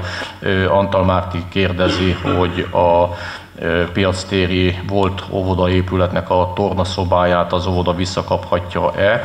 Igen, ez folyamatban van. Megpróbáljuk a, a közterület fenntartókat és a városi raktárt onnan máshova helyezni, mert a település közepén gyakorlatilag egy megközelíthetetlen helyen van, és, és hogyha ezt meg tudjuk oldani, ez közeljövőben remélhetőleg meg fog történni, akkor, akkor tervezzük, hogy az óvoda vissza fogja kapni a az épületet ö, ö, óvodai tornaszobának, illetve ö, délután pedig a kevés tánc együttesnek lesz egy próba helysége, tehát ilyen több funkciós ö, ö, feladatot látna el a helység. Kérdezett észrelettel, hogy még kérdés hozzászólás van-e? Amennyiben nincs, akkor szeretném jelezni, hogy, hogy ha jól láttam itt a monitoromon, hogy 87 volt a legtöbb látogató, aki online követte a, az első online lakossági fórumunkat sok telefonos kérdés is érkezett, úgyhogy szerintem teljesen jól működik, hogy Ipperpál valószínűleg büszke lenne ránk, hogy milyen jó kis fórumot tudtunk összehozni. Köszönöm szépen az aktív részvételt. Remélem senkiben nem maradt kérdés. Ha igen, akkor a polgármesterkukacpomász.hu e-mail címre várjuk szeretettel, illetve már megnyitottunk a, a honlapon a pomász.hu oldalon egy ilyen probléma bejelentő felületet, ahol, ahova kérdéseket is lehetett föltenni, és már a mostani fórumra, és továbbiakban is várjuk az észrevételeket, továbbiakban is várjuk az észrevételeket a kedves lakosságtól a közvilágítással kapcsolatban a hiba bejelentéseket, és most nagyon rászorítjuk a, a ki, ö, vállalkozót, hogy, hogy a bejelentett hibák határidőre legyenek kiavítva, ugyanis most már látjuk, hogy mikor volt a bejelentés, a dátum, mikor volt továbbítva, tehát mindent látok, és, és kértem, hogy, hogy akkor azt is szeretném látni, hogy mikor történt meg a, a kiavítás, tehát ez is ö, ö, elindul, illetve lesz még egy olyan, olyan fül, amit remélhetőleg egy héten belül be tudunk fejezni, ez pedig egy olyan, hogy miben tudunk segíteni az önkormányzatnak. Nagyon sok lakó jelezte, hogy segítenének, csak szóljunk, hogy mibe kell, csak ez így nagyon nehéz, mert nagyon általános, és erre létrehozunk egy olyan feladatot, hogy, vagy olyan fület, a, a, hogyha rákattintunk, akkor megjelenik egy kérdőív, hogy, hogy vállalkozás, civil szervezet, illetve magánszemély, és akkor ilyen ki lehet választani, hogy körülbelül mik azok a feladatok, amiben segíteni tud a városba kapacitással, géppel, szellemi kapacitással, majd kérem, hogy ezt figyeljék, és, és aki, aki teheti, az, az jelentkezzen rá, hogy el tudjunk indulni szépen egy, egy város irányába, hogy város lehessünk. Köszönöm szépen a, a, a megjelenést. Köszönöm szépen. És köszönöm szépen a technikai munkatársaknak is a segítséget, hogy, hogy ezt az első szárpróbálgatást ilyen nagyszerűen meg tudtuk csinálni, és működött az online közvetítés.